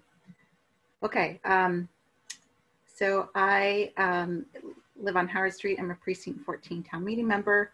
Um, I'm a Black Indigenous person of color, a leader in this community. And um, I will shorten my remarks so um, gives other people opportunity to speak tonight. Um, but it is, um, I rise tonight to um, talk to you about the decision to uh, have the Black Lives Matter sign displayed on our town government building. I really wish I could have participated last week in the discussion last week, but I was chairing the diversity task group meeting. Um, And, um, you know, just for simplicity's sake, I wanted to speak tonight. You will hear the repeated um, meaning and symbolism of what this, this sign means um, throughout the night, I hope, um, because symbolically this message um, and the banner that it's raised communicates to me as a, a Black person of color and a leader in this town. Um, it symbolizes to me that my life, it signals to me that you understand that my life matters. Um, and, you know, even, you know, the public may not participate in any of these boards or these discussions or these community forums. Um, though there are people that are not plugged into the community the way that um, many of the attendees tonight are. And so the significance of the words of each word of the banner um, is is very significant. Um, and and so you know, the banner has always been a placeholder for me for policy um, because I already know that my life matters, but it is it is it is symbolic, and so the lowering of that um, is is is is symbolic. It communicates a message a message to me. Um, and there and it communicates a message to those people who are not plugged into this into the community discussion. Um, and so for those that feel unease or disruption to their way of thinking that's the purpose is to get people to be thinking about this. Um, you know the school department has through many um, through the work of many many people but the group that i know best the superintendent's diversity advisory committee has worked to talk to their um, administrative staff about implicit bias about unconscious beliefs that we have, and we all have implicit bias. I say peanut butter, you say jelly. Um, and as a community, many of us are working on our biases, and um, you know, it became a district goal. And so I really implore um, the leadership, the organization, the board to be doing this work um, because it's, it's clear that there is a lot of implicitness, just unconscious prejudices that that I carry, that we all carry. Um, and many of our the neighbors of color that I've been talking to, they said they asked me what what's the rush? They asked, what's the rush in taking this this this down? Really? Um, and if that doesn't move you, you know, like the conversations that I've been having that I'm, I'm sharing with you now because I know you, I know you're good-hearted, um, and I wanted just to to speak my mind. But um, if that doesn't move you, then use self-interest in our town reputation as a reason to keep up the sign, um, you know, and use Cambridge and Somerville as, as justification. They, they've been having it up for a long time. Um, you know, we have a problem. The Suffolk, Suffolk University law student um, school did a study. Um, am I over time? I'm sorry. The Suffolk University. Just, just jumping over a little bit, if you can just wrap up this point. Okay, sorry. Um, so, I mean, we do have a systemic problem in Arlington. Um, you know, Suffolk University has done a study, the Boston, um, about housing discrimination in Arlington ranked one of the highest. I heard about that study um, on Wednesday. Um, it's really, really terrible. We have a housing issue, we have a school issue, um, the Boston Globe, and we have police and community relations that need to be healed. So as a board, I ask you, I ask you to um, to continue to support the administrative staff, um, like oh. you know, like Adam and um, and and the town department. Just about in four minutes, if you can just wrap. Okay. All right. I'm sorry. Almost uh, five. Almost five. All right. So thank you. Thank you so much. Um, please use the, the potential and power that you have. Thanks. All right. And the next person on the agenda. Daniel Bromberg. Yeah promote Mr. Bromberg.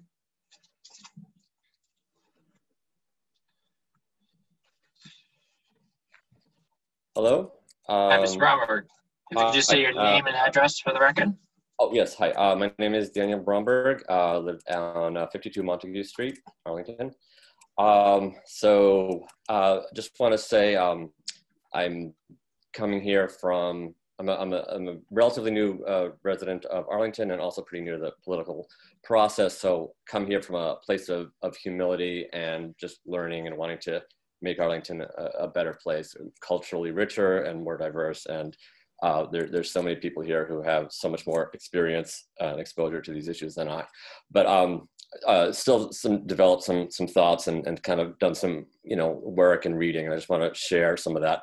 Uh, first, though, um, just in responding to uh, Mr. Kaepplein, I, I would say you know I I went to a uh, a Black uh, Lives Matter uh, vigil and um, and so and it was a church service at the Follen Community Church in Lexington, and you know to see um, the love and the the singing, you know, the, the opposition, there was just a few members from, from a fringe group uh, yelling in our faces. Uh, they were not able to yell at us when the entire, uh, you know, neighborhood was singing Amazing Grace, uh, led by the, the, church leaders. And uh, we were all holding up Black Lives Matter signs. So I challenge those people who think, you know, about the, the, the levels of violence they were in, impugning on, on the movement that to, to go to a, a vigil or, or a church service like that. Um, so um, as far as the, the banner, I, I, had some thoughts on that as well. And just to go a little, uh, expand on the, the, Somerville, you know, the Somerville mayor, uh, Joe uh, Curtatone, uh, has kept up the sign since um, 2016. Um, I want to read a quote from him. Uh, he said, having grown up in this city, I've seen a lot of change. I've seen a lot of good. I've seen a lot when we were divided in the past based on race, based on ethnicity, but I'm proud of how this community has evolved and grown and what we've embraced, the value of the community. I believe the sign speaks to those community values. Um, and so to the extent that people um, might tune me out after a minute or so, that's really my main point is that I think that's the model uh, we want to follow. Um, on the other hand, uh, Medford uh, in August uh, sort of bowed out and they said they're worried that groups could end up jockeying for space at City Hall. Uh, this seems like a very narrow and, and short-sighted concern. Um, I think it is to make people uncomfortable and to think. Um, and I would just say, consider that while I, I think it's really important to keep the banner up, the proposed sign in the in the doorway or the placard that you know can talk about inclusion can actually explain the sign because there's a lot of uh, education that needs to happen and perhaps just a 200 word blurb that can explain why this is actually an inclusive message. Um, for example, if I could just quickly read a, a few lines from, um, this is from uh, outfront.org, an, uh, an LGBTQ organization. Mr. Bromberg, you're just at your three minutes. If you can just wrap up your thought. Okay, I'll just read uh, one sentence or two here and then I'll be done. Thanks. Um, we recognize that Black people in America, some of whom are LGBTQ, are systematically oppressed, and we stand together affirming that Black Lives Matter. Um, I'll just leave it there and uh, thank you very much. And Mr. Chapdelaine. Uh, the next speaker would be Nick Stein. Okay. And, uh, okay, Mr. Chair, if I could just interject that um, we're going to hear everyone under open forum. Um, to my colleagues on the redevelopment board, this is way beyond the scope of this joint meeting tonight. That's what I would anticipate the open forum would be addressing tonight. But as you probably have seen, um, it's it's it's going a bit askew. So I would say to uh, people signing up for open forum, if it's you can speak whatever you want to speak to, um, but would, would definitely rise to the top comments that were actually on the agenda tonight and any other comments bring to the next select board meeting, but I can't limit you to that. So I just wanted to add that. Thank you so much, Mr. Hurd. Thank you. Mr. Stein, if you could put, say your name and address for the record. So we can't hear you. I think, are you muted still?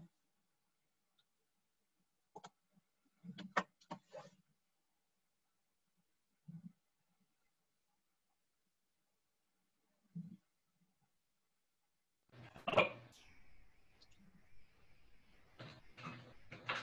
think we can hear you now. Hello. Yep. Can you hear me? Yeah.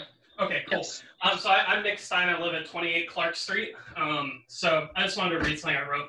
Uh, Black Lives Matter is not just an ask for overt racists to stop being mean. It is a demand to eliminate white supremacy. That demand obviously cannot be met with a piece of cloth, and we must continue to pursue this outside of symbols. But the board has chosen to defang this powerful statement on the value of Black lives into the liberal version of all lives matter, a meaningless statement of kindness to all. White supremacy is absolutely alive and well in Arlington, as we've seen with Pedrini. To this day, the APD refuses to fire a man who is clearly irreparably bigoted and for whatever reason claims that they can rehabilitate his disturbing worldview.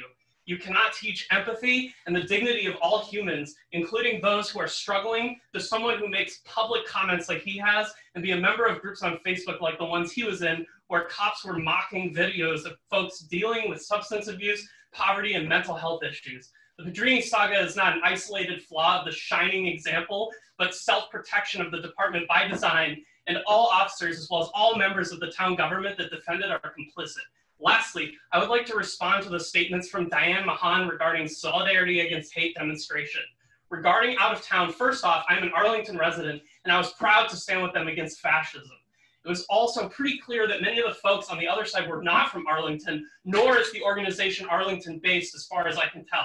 Further, speaking disparagingly about an organization based in Boston as out of town, regardless of who was from where, sounds like the old Arlington that opposed having the Red Line come to town for racist reasons. I implore the select board to reconsider their decision to take down the Black Lives Matter banner. A symbolic gesture is the least that the town can do. I yield my time. All right, Mr. Chapdelaine. The next speaker is Jennifer Susse.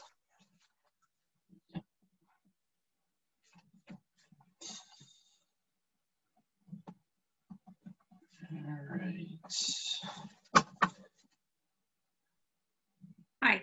Hi. Yes. Um, I want to talk about housing issues. so um, I thank you guys for getting together. Um, I want to say that I am like many residents in town in that I um, love the community, love the civic, and uh, the life of Arlington. And I'm also very anxious about its future. Um, I think that many people uh, have goodwill and who disagree with each other are also just anxious about our future, right? And the anxiety that I have is that I know that we can't stay in place. I know that things that are naturally affordable today will not remain so. Um, I grew up in a house in Brooklyn, New York, that was 40,000 when my parents bought it. It's still a junky house, but it's no longer 40,000, right? So just having old small houses, um, look at Palo Alto, California, does not make something affordable, right? So the way you have affordability is by having potentially smaller units, by having more units. And so I really am excited by Arlington's involvement with Metropolitan Mayors Coalition. Um, I think that we have a crisis on our hands and that every community has to step up and do their part. It's just not okay to say that other communities need to do something and Arlington doesn't have to do anything, right? We, we all have to do our part. We're in a crisis. Um, I also think it's the right thing for Arlington, right? I think that we're losing, if you look at the trends in Arlington, we're losing um, age diversity. We have 44% fewer uh, people under 34 or between the ages of 20 and 34. We have 14% fewer people over age 65. We're losing economic diversity. We used to have 9, 10% in our kindergarten class on free and reduced lunch, and now that number is consistently under 3, 6%. So we are not staying in place. We are getting to a community that is becoming wealthier and wealthier.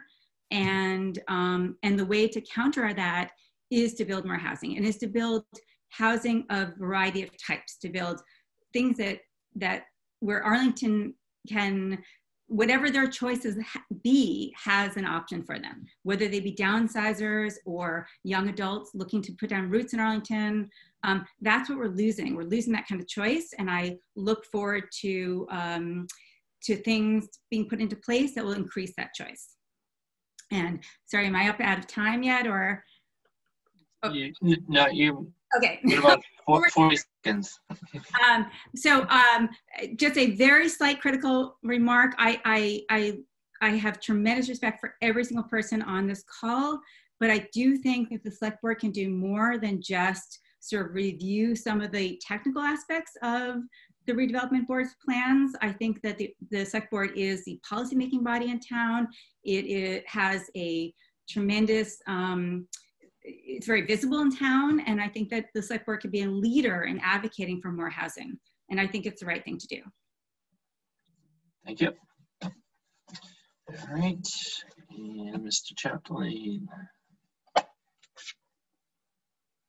All right. Uh, next speaker is Laura Kiesel. We can promote Ms. Kiesel. Hi. Hi, um, my name is Laura Kiesel. I live at 260 Mass Ave. Can you hear me? Yes, we can.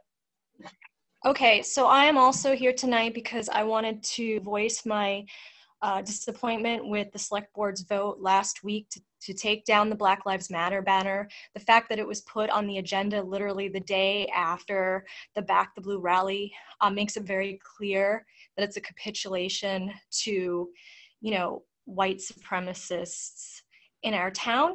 And I want to make very clear about what this rally was because I feel like people are talking about outside agitators. This rally was brought by the spouse and sister in law of APD officers. They themselves do not live here, they're from Woburn. And America Backs the Blue is not from Arlington. They bring these rallies to different towns. A lot of times it attracts neo Nazis, and you have to ask yourself hmm. why that is.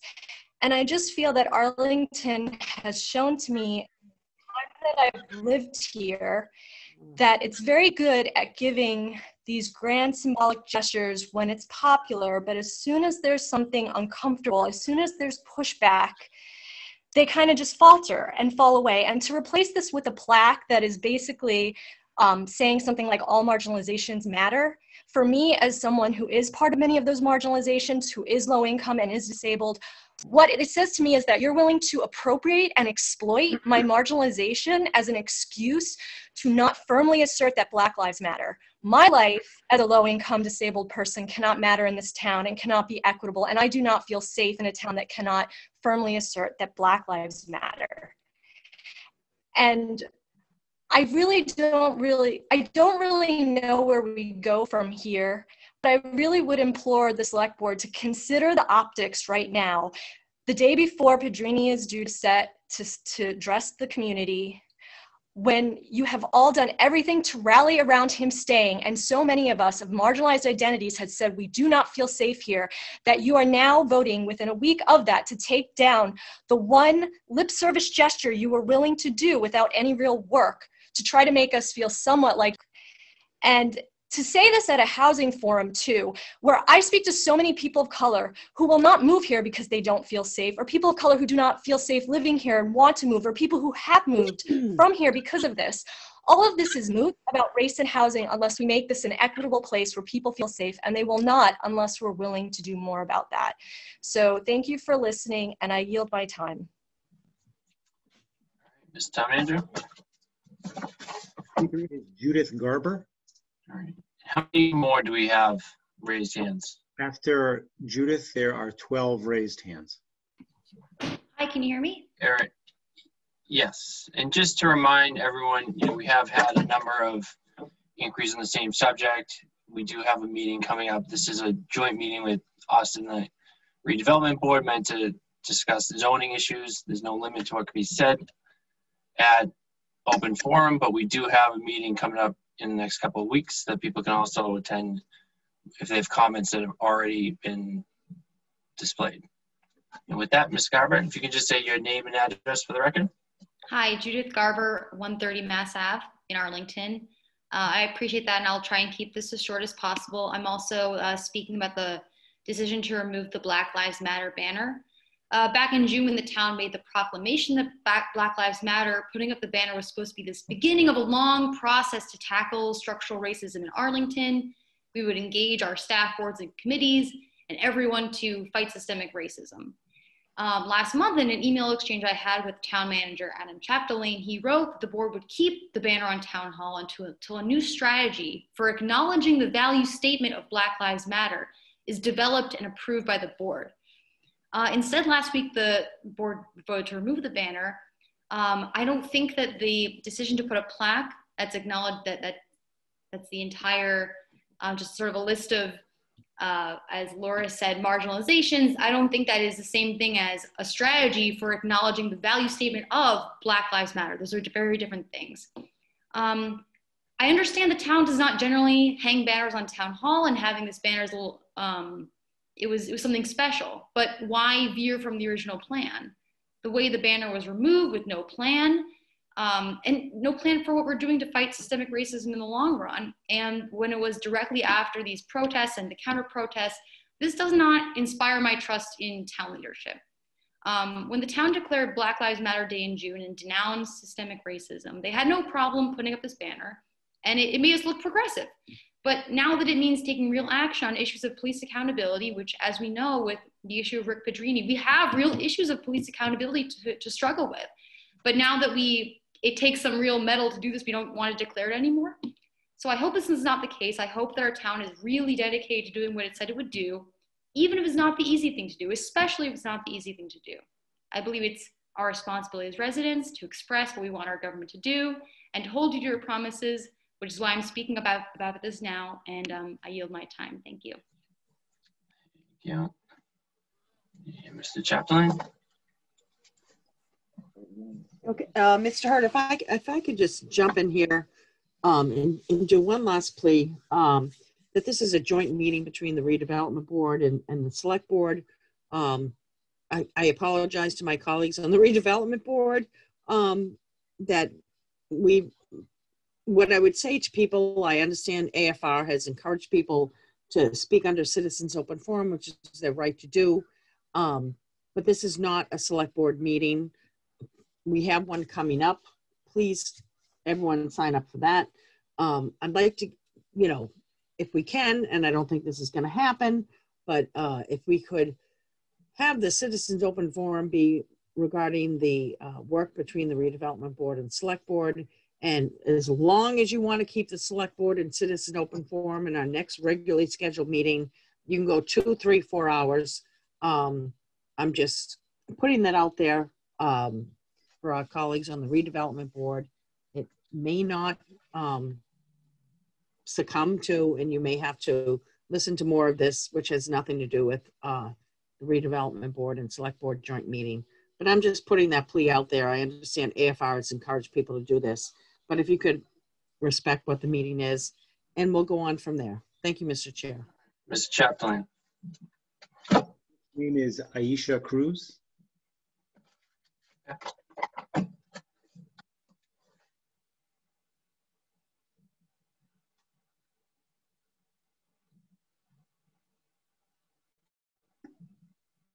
Hi, Aisha, can you hear us?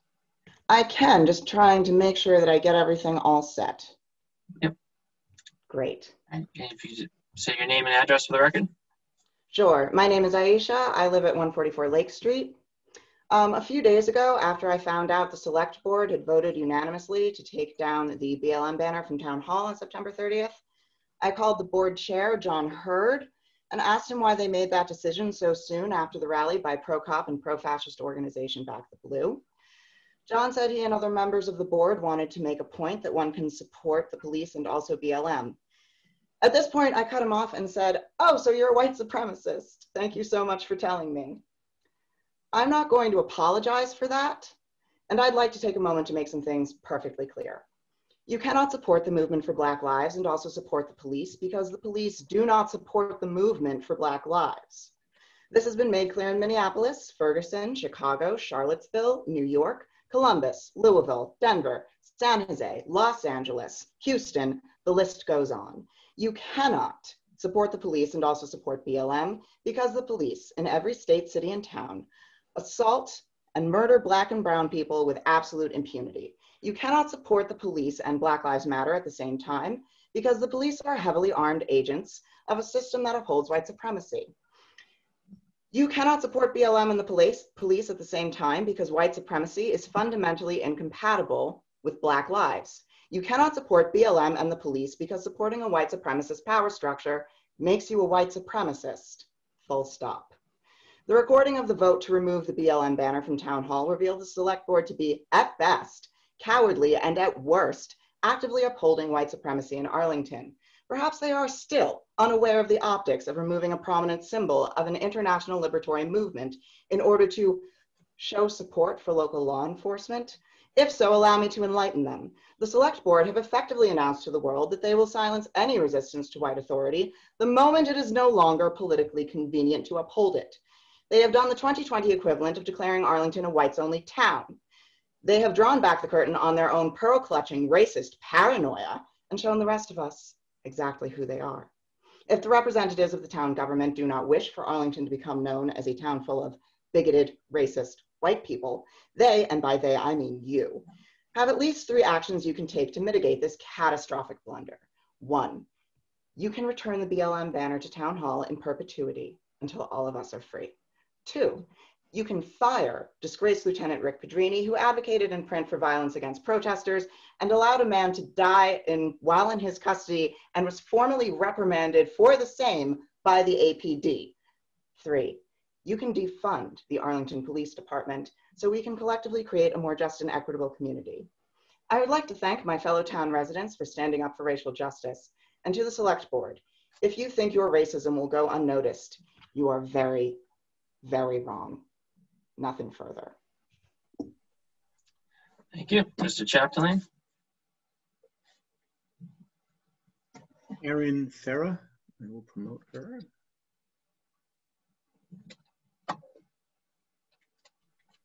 Yep. Hello, are you able to hear me? Hi, Mrs. Farah. If you can Yes. say your name and address for the record. Hi, um, Erin Farah. I live in Quincy Heights in Arlington. Um, I'm also wanting to speak about the taking down of the Black Lives Matter sign. Um, Diane, um, I understand that you don't want to have this discussion right now. I, I guess I would recommend not having made this decision a week ago and then recommending that people speak about it after you plan to take it down. No, that doesn't make sense to anyone who really cares about this issue. Um, so that's not going to happen. Um, the the discussion about having taken it taking it down um, sandwiched right around the back the blue um, rally where Pedrini is having some sort of um, coming to Jesus moment um, in front of people. And our town is being plagued by um, literal KKK stickers being stuck to BLM signs on people's lawns. Um, a BLM sign just went up in flames in next door Medford. Um, church signs have been defaced, and we're taking down our back our um, Black Lives Matter sign. This sends a pretty clear sign I, to the residents of Arlington that we are not a supportive town of all of our residents um, and that we are not a welcoming town to um, Black and Brown people. It's not a town that I want to be a part of. It's a town that I'm a little shamed that I'm part of at this point, and I would like to see that turned around. Um, I'm a citizen who cares about everyone. Um, I'm a citizen who does my part to care about my fellow neighbors. And frankly, just watching um, Diane at this meeting roll her eyes and unmute herself so that she can um, ahem during people's very thoughtful comments about caring about Black and Brown people is is frankly offensive and unprofessional, um, and shows me how little care there is for our Black and Brown residents in this town. Um, so I would implore the group to rethink that decision about taking down the ba- the Black Lives Matter sign. I think it's the very least that we can do. It's a symbolic gesture, and it's only the beginning of a process that we need to undertake as a town to rethink how we deal with systemic racism in this town and beyond. And so, with that, I yield my time. Thank you. Mr. Chapdelaine? Thomas Davison.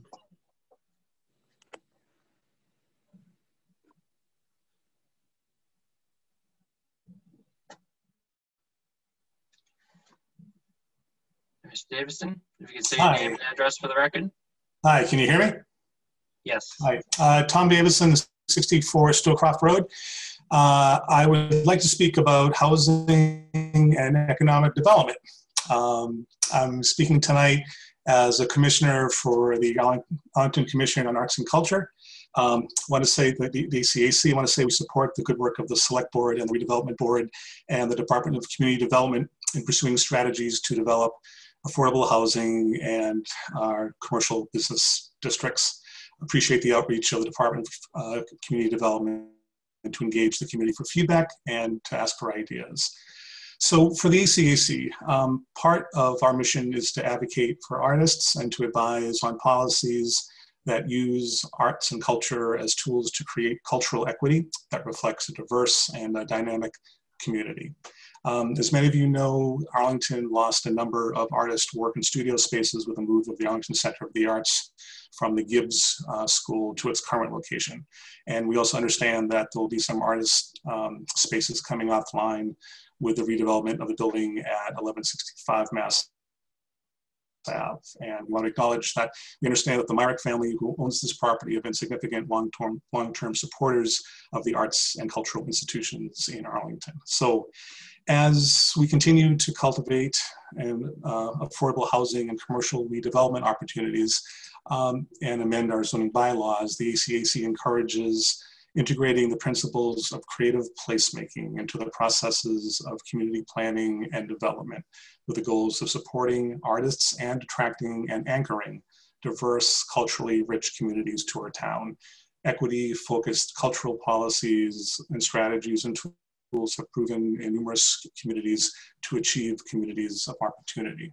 So specifically, uh, we'd like um, to cons that um, considerations come into these these processes to integrate creative placemaking into Arlington's long-term, short-term, and project implementation plans when looking at affordable housing, commercial redevelopment, and in changing changes to our zoning bylaws.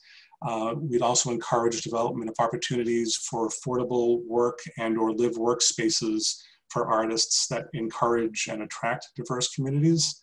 Uh, we would like uh, to advocate for live work artist spaces that encourages cultural equity and diversity when considering proposals for new housing and for the redevelopment of existing properties. And as appropriate uh, to the project, evaluate opportunities to take advantage of low income housing or historic tax credits or rental subsidies that could create affordable studio live work spaces for artists and people of, of color. And as we go through these processes to determine desired outcomes that we consider. Davison, if you can just uh, wrap up your point, you're just a little over the three minutes. Sure, thank you. Uh, last point was if we can consider cultural uh, equity as a measure for success and a guide for course correction as we continue on, on these processes. That's it. Thank you for your time. Thank you. Mr. Chapdelaine. Jonathan Washer.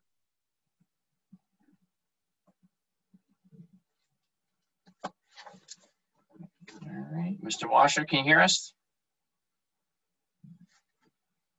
Nope, no, you can't. Hi, how's it going? Hi. Hello, hi. Uh, address? Yep, Jonathan Washer, uh, 7 Thomas Street in Arlington.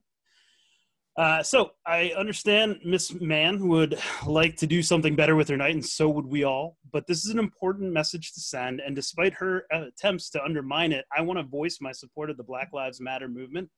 I was disgusted to see the results of the vote by this board to remove the Black Lives Matter banner from the town hall shortly after rolling out the red carpet for white nationalism masquerading as the Back the Blue protest on our on your doorstep. Uh, I stood as part of the counter protest to this hate group weathering physical intimidation from bikers and disgusting hate speech. I was proud of the town, however, for having that sign hanging out front. It felt supportive of the cause and letting us know that these hate groups trying to sink their claws in this community would be met with opposition. But then, shortly after the protest, I heard you voted to remove it, and that is shameful. You are sending the message that Arlington's efforts to support a diverse community are performative at best in reality, you support the hate speech ingrained in the Arlington Police Department every single day that Officer Pedrini remains employed by the town. This is a continuing disgrace. Leaving a Black Lives Matter banner on City Hall does nothing to fix that stain on justice, but it is a small and harmless message of support for the rest of the town. H- how am I doing on time? You're at a minute and 40 seconds. Uh, all right, cool. I, I just want to wait for Diane to come back so I can make sure she understands that her vote uh, was directly the cause of her night now being ruined as she's showing endless disrespect for every single member of this community that's taking time out of their lives to come voice their opinions of support for people that you all voted apparently to leave behind. That's despicable at best. So I'm just going to stay here, keep talking, I guess, for my time, unless uh, Miss Mann doesn't want to come back. Uh, but, you know, Black Lives Matter, fire Pedrini, defund the police and refund Arlington with uh, with with funds that can actually do something other than cause further divides within this community. Oh, she's back. Good. Thank you. I yield my time. Mr. Chapdelaine, how many do we have left on the list at this point? There's uh, now 11 hands remaining. All right.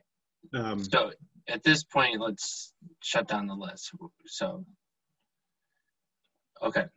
okay. Uh, the next name is John Sanbonmatsu. Yep.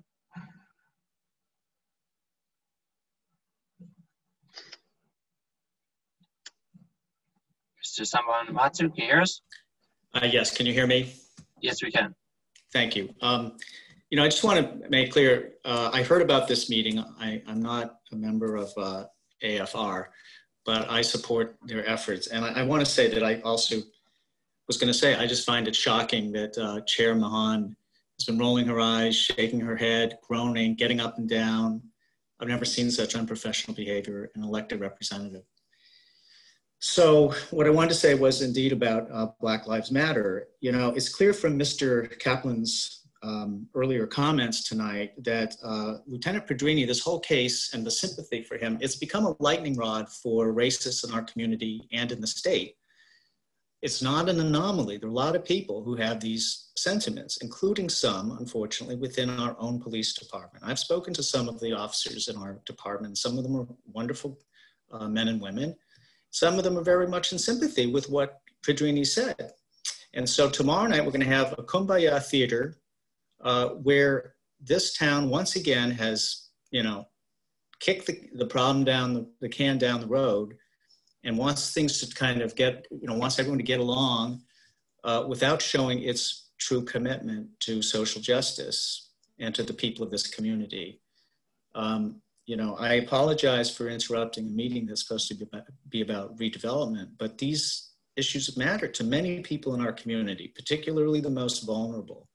And somehow, incredibly, after two years or more of um, good faith activism by other people uh, in this community, people in our community, I just feel like the town manager, I'm sorry, and the select board is bungling this. And I, I don't understand how, in the wake of a rally that was intended as pushback against this civil rights movement, which is what Black Lives Matter is, it's a civil rights movement, how the town select board could possibly have taken this vote without community input clearly as a direct reaction to uh, in response to the um, Back the Blue rally.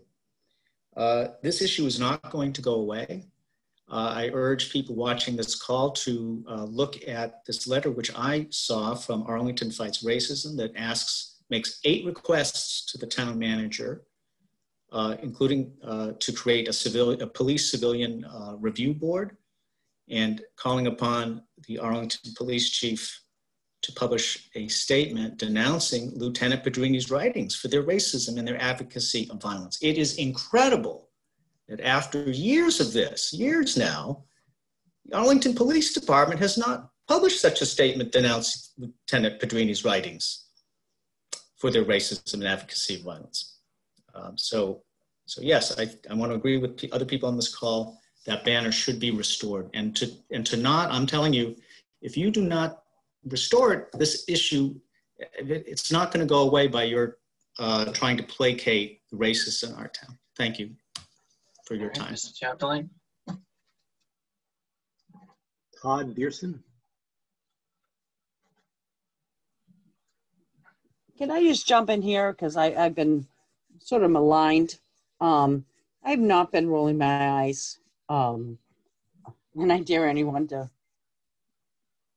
back that up, as well as anyone who knows me, my fa- family circumstances, when I've stepped away because we've had close to two hours of a citizens open forum that has nothing to do with select board and Arlington redevelopment board um, conversations regarding um, joint articles regarding uh, economic development, regarding the CDBG CARES Act.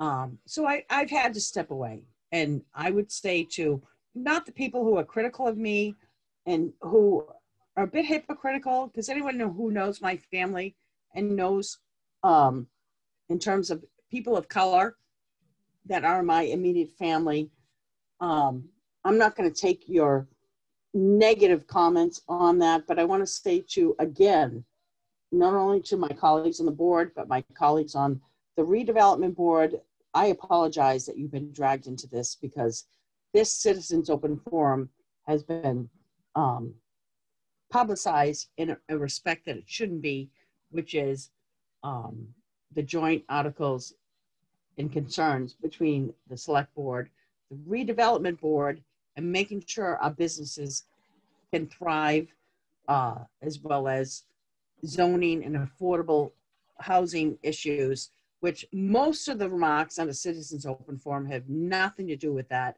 And honest to goodness, I, I would appreciate if somehow that that was just addressed with me and didn't involve all you. But I apologize. You're going to have to continue to uh, bear through this and I see a bit, a lot of hypocrisy here. So uh, I'll yield my jumping into uh, our chairman, Mr. Hurd, and our town manager, Mr. Chapdelaine, to see who's next on the list.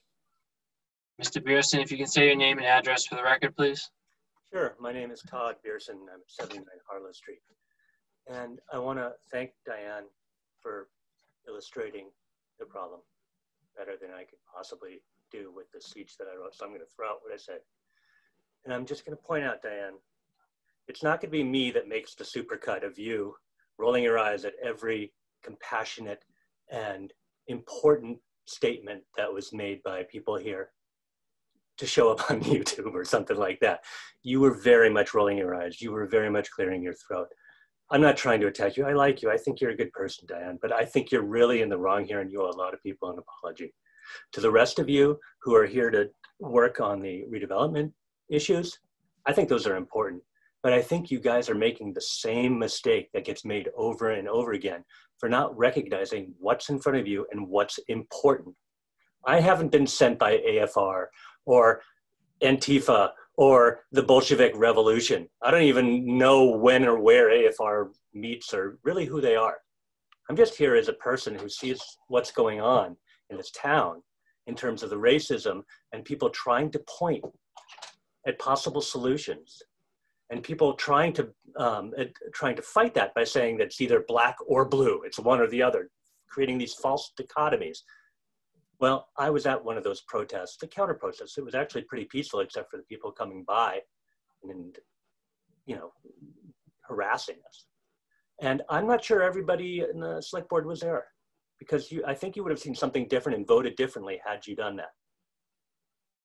So think about the optics. That's all I'm going to say. Think about the optics. You're pulling down the sign. Pedrini's about to go in front of uh, the town and have his kumbaya moment, as was mentioned earlier. The rally came and bullied you into pulling it down. And you're not showing the police any support by doing any of this. If that's what your intention is, show them that they have support, the support of the town. You're creating a bigger issue. And I really recommend you deal with it.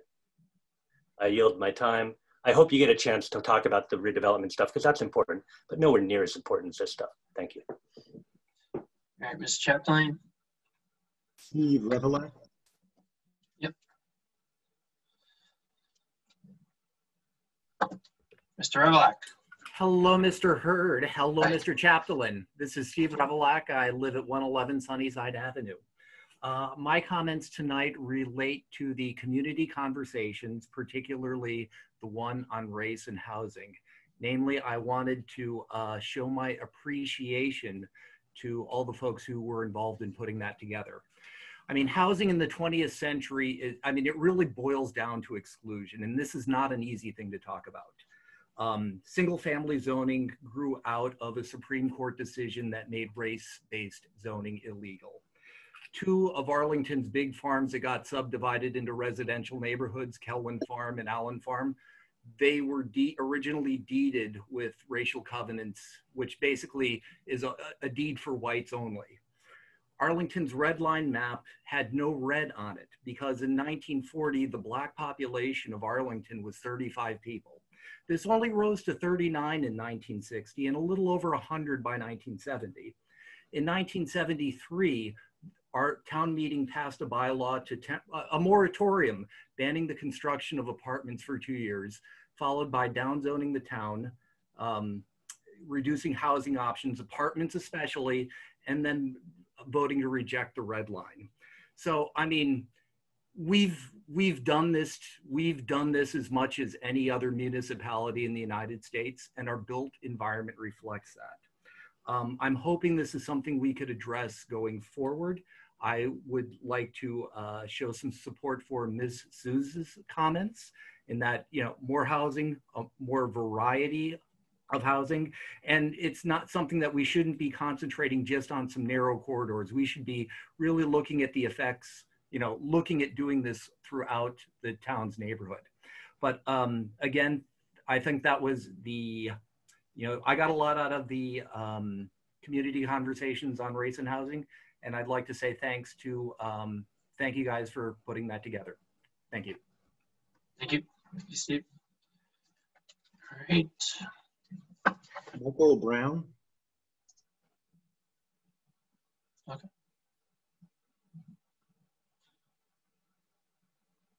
Hi, Mr. Brown, can you hear us? Oh, how do I, uh, oh, start video. Hi, uh, my name's Michael Jacoby Brown. I live at 10 Brattle Terrace in Arlington. I'm a town meeting member from Precinct 17. And um, I just want to say I felt really sad to learn just yesterday that the Black Lives Matter banner at Town Hall was voted to be taken down. I only learned about it last night. It wasn't even in the paper three days later. Um, and uh, I would hope that the board of, uh, uh, the a select board would wait until we can listen to the impact on the black residents of the town of taking the banner down. Thank you. All right, Mr. Chapdelaine. Brad Adams. Okay.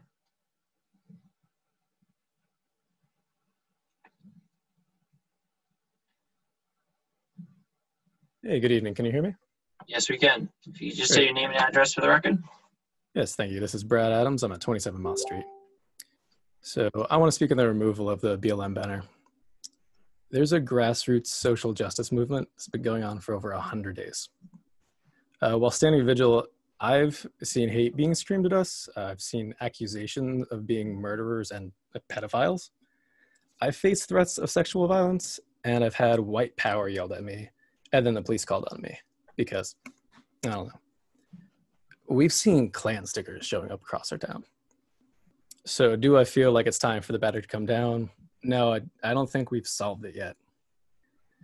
Uh, but I've also seen a wave of encouragement and support from you know local people standing with us, uh, people driving by, honking their horns, cheering along. Uh, also from neighboring towns and residents of those, kind of struck dumb, thinking, "Whoa, Arlington! Arlington's out here!" Like, yeah, we're out here on the street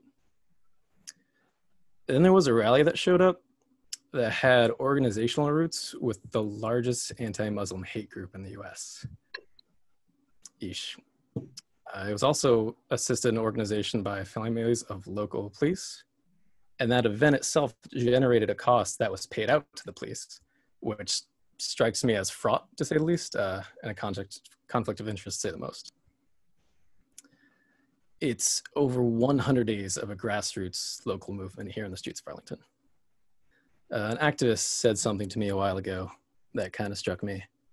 She said, If you ever wondered what you would have done during the civil rights movement, it's whatever you're doing right now. And I like to think that taking down our only banner and statement isn't what we're doing right now. There isn't a face of local government that this issue doesn't touch. Black Lives Matter and I think I have just a bit of time left, so I just want to say, uh, Toraya, we miss you very much. Best sushi around. Hope we can welcome you back. I yield my time. Thank you. Thank you. And Mr. Chapdelaine. Robin Harney. And where are we on the list?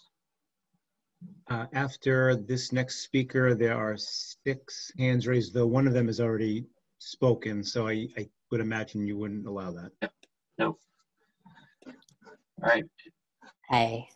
Hi, can you just say your name and address for the record? Okay, yeah, I'm Robin Harney, um, 57 Lake Street.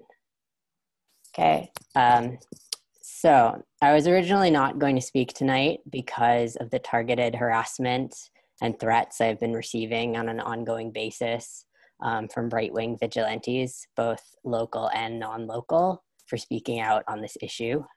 Um, but it's too important to keep silent, so I have decided that I will speak out.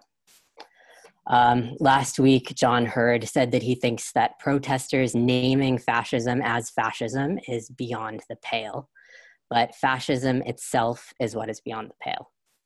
This is what Elizabeth Pedrini, sister in law of Lieutenant Rick Pedrini and wife of APD officer Rob Pedrini, and the hate group America Backs the Blue brought to Arlington last week. This group rallied in a town where they do not live, citing among their grievances the Black Lives Matter banner over Town Hall. In response, you immediately voted to remove the banner, and in doing so, you validated their tactics, including their harassment, homophobia, transphobia, and threats on my life. You have made all marginalized residents of Arlington less safe, literally, measurably less safe, but particularly Black residents, and for this, you are complicit in white supremacy. The Select Board's claims that the Black Lives Matter movement and supporting police are not in conflict make no sense in the context in which they were presented. If that were the case, then none of your points about supporting police would have been relevant to last week's agenda item, which was the Black Lives Matter banner. The truth is, police and the Black Lives Matter movement are in conflict because we have a deeply racist police department in Arlington. All residents, but especially Black residents, deserve better than the disrespect you have shown this week. The banner should stay up, but more importantly, you should start treating Black people like their lives actually matter. And that begins with acknowledging the problems in our police department. Police families invited fascists to our town. Shoving the Pedrini issue under the rug has allowed racism to spread further throughout the department and has made everyone in Arlington less safe. The APD has demonstrated zero understanding of the problems in their department, as evidenced by the recent Visions report. Pedrini continues to do harm, and he continues to enjoy widespread support from the department. There has been no um, acknowledgement of the harm of his words um, from any of the other officers in the department. And he is not the only problem officer. We know this um, based on the fact that he has received awards um, while he was out on leave getting disciplined. This didn't happen in a vacuum. It happened within a racist white Robin, you supremacist. just had three minutes. If you could just wrap up great. your point. So in in short, um, we need to fire Pedrini, listen to Arlington's Black community, and defund the APD. All right, Mr. Chapdelaine. Uh, We have uh, Kevin Heaton, uh, who was the first speaker, was unable to connect. We'll give him, a- give another chance.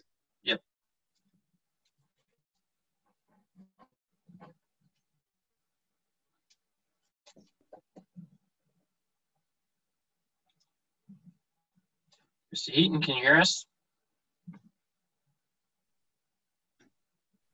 Hi, my name is Kevin Heaton. I'm at 252 Mass Ave in Arlington. I also wanted to share my disappointment on the removal of the Black Lives Matter sign. I mean, especially when you voted for it a day after a racist rally was allowed in town. I mean, to me, that's just a slap in the face to all the uh, people of color and disadvantaged people who live here and who, who feel unsafe uh, because of uh, Rick Pedrini being allowed on the force to stay on the police force and other actions that have happened in town.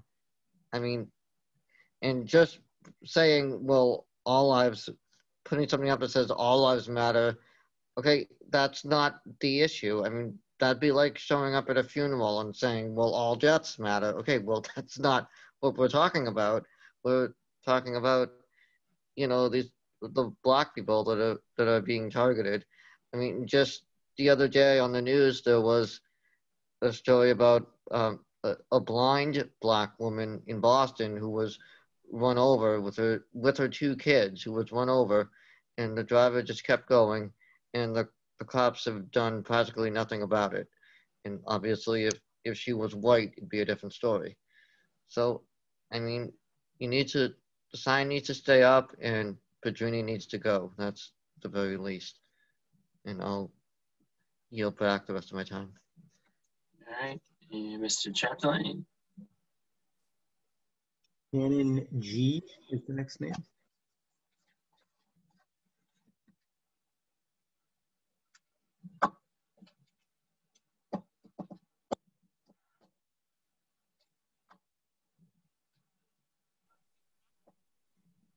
Hi, Shannon, can you hear us? Yes, I can hear you. Can you folks hear me? Yes, we can. If you can say your name and address for the record. Yep, my name is Shannon Gimerick. I live at 38 Lake Hill Avenue here in Arlington. Um, I know it's late, and I know a lot of folks have said more eloquently what I'm going to say. Um, so, in the interest of the fact that Arlington has been a welcoming community to me so far um, and my family, and the folks that I choose to call my family that might not be my blood, um, I just want to say that one of when I was a new uh, newer resident to this town, I attended a select board meeting and um, I was really enthused to see the unanimous signing of um, what is better known as a bathroom bill for transgender folks to use whatever bathroom they choose in Arlington was proudly signed by every member of the select board meeting. And as somebody who identifies as non-binary, that was really meaningful to me to join a community and feel really welcomed and feel supported. And I thought at that time, wow, what a great choice I've made to be a member of this community. Um, and so to that end, I just want to say uh, how disappointed I am to know that a community would choose to um, not be as welcoming and kind and show as um, avid support to other members of our community by removing the Black Lives Matter banner. Um, I think that it is really clear that there is overwhelming support of the of our Black community, of the people who fight for racial justice, and I just think that um, I hope that you will reconsider with all these moving words that have been said tonight how we can be a more welcoming community to everybody. And in regards to making it that welcoming place for people to move um, and live, I think that that also addresses um, the other issue at hand tonight, which is just this issue of making uh, our community more affordable for people to live, to make it more diverse, to welcome in these new voices, to grow and learn, and really be um, a rich group of people who can uh, learn a lot from each other and become better. And I thank you for your time. I yield the rest of my time. Thank you. Mr. Chapdelaine. Martha Vreeland. And how many's on the list after this? After this, there's three, uh, three hands. Okay.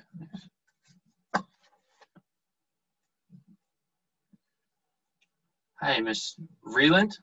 Can you hear us? I can hear you. All right, if you can just say your name and address for the record. Sure. Um, my name is Martha Vreeland. I live at 42 Richfield Road. Uh, and I would like to respect, respectfully speak to the BLM banner and the APD issue. And I assure you, I'm neither hateful or bloodthirsty. Um, and I apologize to the board for keeping you later than is usual, but this is the only forum available to us before the banner is taken down. Um, I, I would urge us not to compare the Black Lives Matter movement to the Arlington Police Department and, and not give them the same type of support that we're trying to give to the Black Lives Matter movement. The BLM represents a marginalized group of Americans whose ancestors were stolen from their countries, used as slaves, treated as animals, prevented from buying land and homes, and targeted by hate crimes by both civilians and law enforcement. Today, Black Americans are disproportionately targeted by law enforcement, which must change. APD consists of brave men and women who are paid by the town of Arlington to protect and to serve all people of Arlington.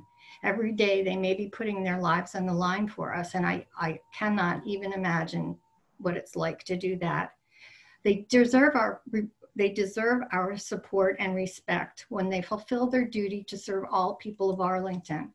However, when an officer publicly spews hate speech for any marginalized group, is against police reform and promotes violence, that officer cannot be trusted to serve all people of Arlington, does not deserve our respect, and does not belong in the APD. By permanently hanging the BLM banner and by taking action to remove Pedrini from the APD, Arlington can show that we truly support our fellow Black Arlingtonians and all people of color.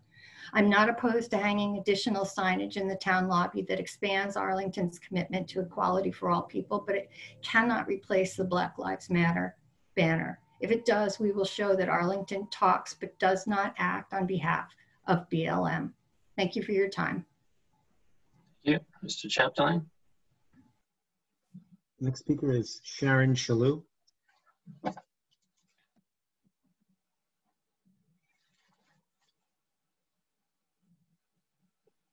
Ms. Shalou, can you hear us?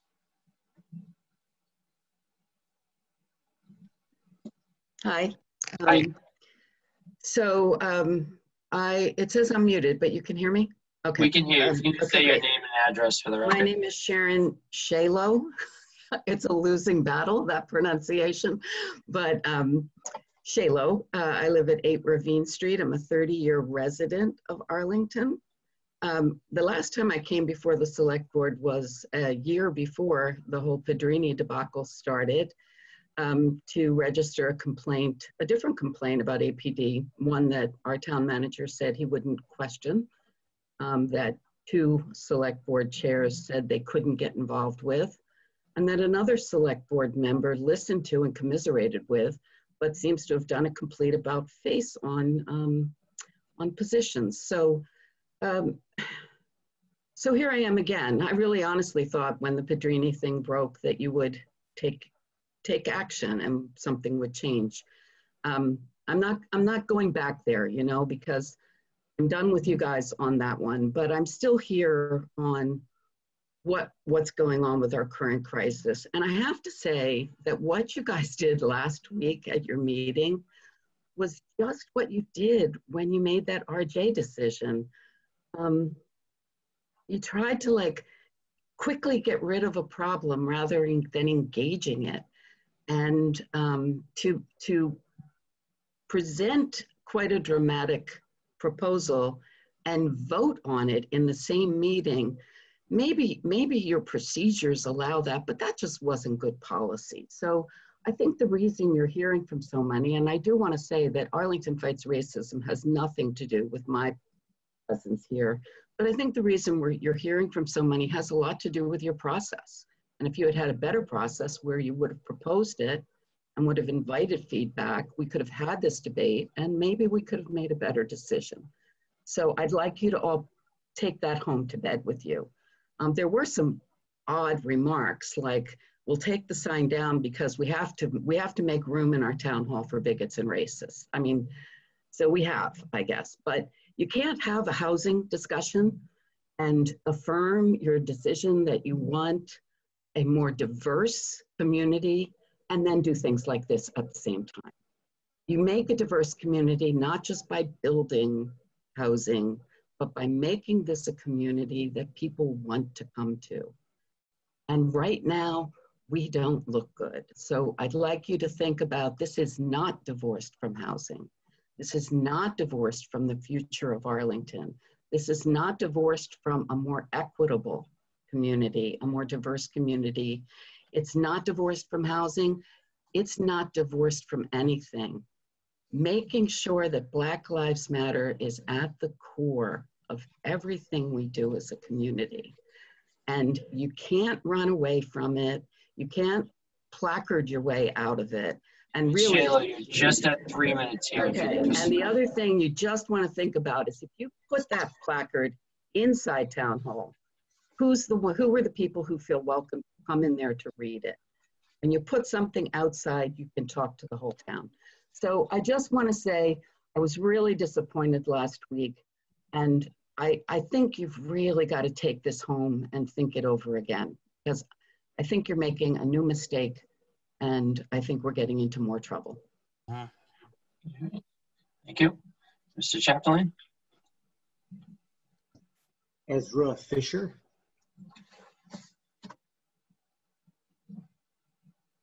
And one more after this? Correct. Yep. Hi, Mr. Fisher. Can you hear us? Yeah, I can. Can you hear me? Yes, we can. If you can just say your name and address for the record. Sure. Ezra Fisher, 32 Thorndike Street. Uh, thanks for your time. Um, I sent an email to the select board and to the town manager last week um, as soon as I heard about the Arlington, um, about the decision to take down the Black Lives Matter banner from City Hall. Um, and I actually got a response from Adam, so thank you. Um, and Adam's reasoning that he offered um, behind taking down the banner, that decision, um, and I'm going to quote directly from the email, was to refocus the work here locally on actual policy and programming that can improve racial equity in town. So I'm all in favor of, of, of focusing on policy. Um, I actually responded to that um, and more or less said, great, what's the policy? Um, and I didn't get a response. Um, and so, you know, it seems to me the question is what has changed since June? If you're taking it down to further some sort of anti-racist policy change, what is the policy change? That should be an easy question to answer. If that's the true reason for taking the banner down, that should have almost been like a form response to my email. These are the policy positions we're changing. I'm left believing that that's not the real reason. Um, and that's, you know, that's really disappointing as a resident. Um, I would expect, uh, I would expect if you're going to take down something symbolic to get something real done. Um, I don't really agree with that decision, but if you're going to do it, you should be able to explain what those policy changes are. Thanks. Thank you. Mr. Chapdelaine. Last name is Ben Rudick. Let me just. Uh... There we go.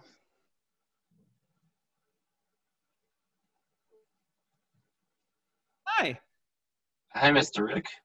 Hey, um, Ben Rudick, 40 Webb Cowart Road. Let me end you on a bit of a positive note. Um, I had the pleasure of knowing most of you um, and look forward to meeting the rest that I, that I haven't gotten to know well.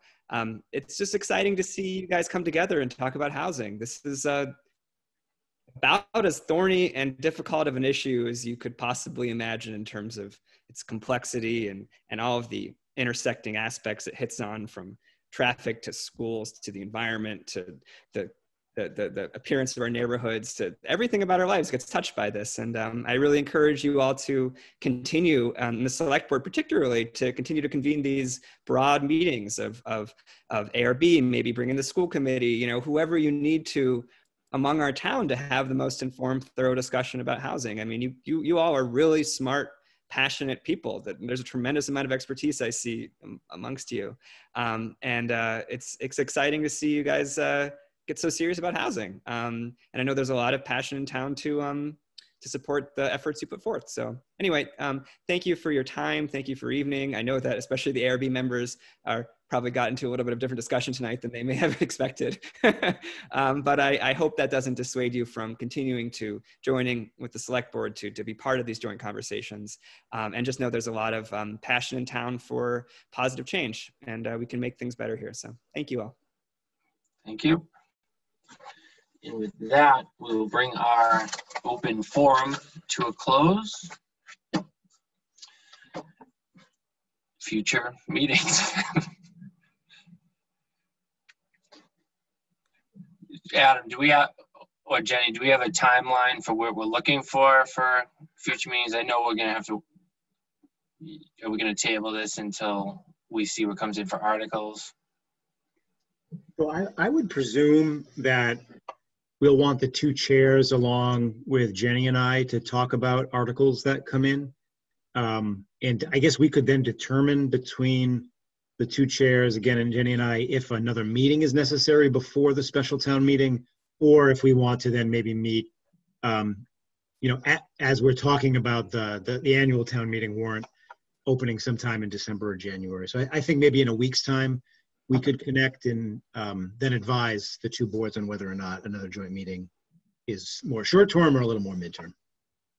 All right. And with Sounds that, great. we'll take a motion to adjourn. Move to adjourn. I'll second. Does anyone want to stay? Motion to adjourn to ARB too. We have a second from the ARB? Jean? Second. David, okay. Right, Attorney Heim? Um, I'm gonna just walk through uh, each one at a time, and I apologize if I get the order of uh, different boards mixed up um, in terms of who's who's the current. I'm sorry, I get the order of folks mixed up on the uh, ARB. Um, I'll take the ARB first. Um, Mr. Benson, Uh, yes. Mr. Watson, Yes. Miss Einstein, Einstein, Yes. uh, Mr. Lau, Yes. Miss Zsembery. Yes.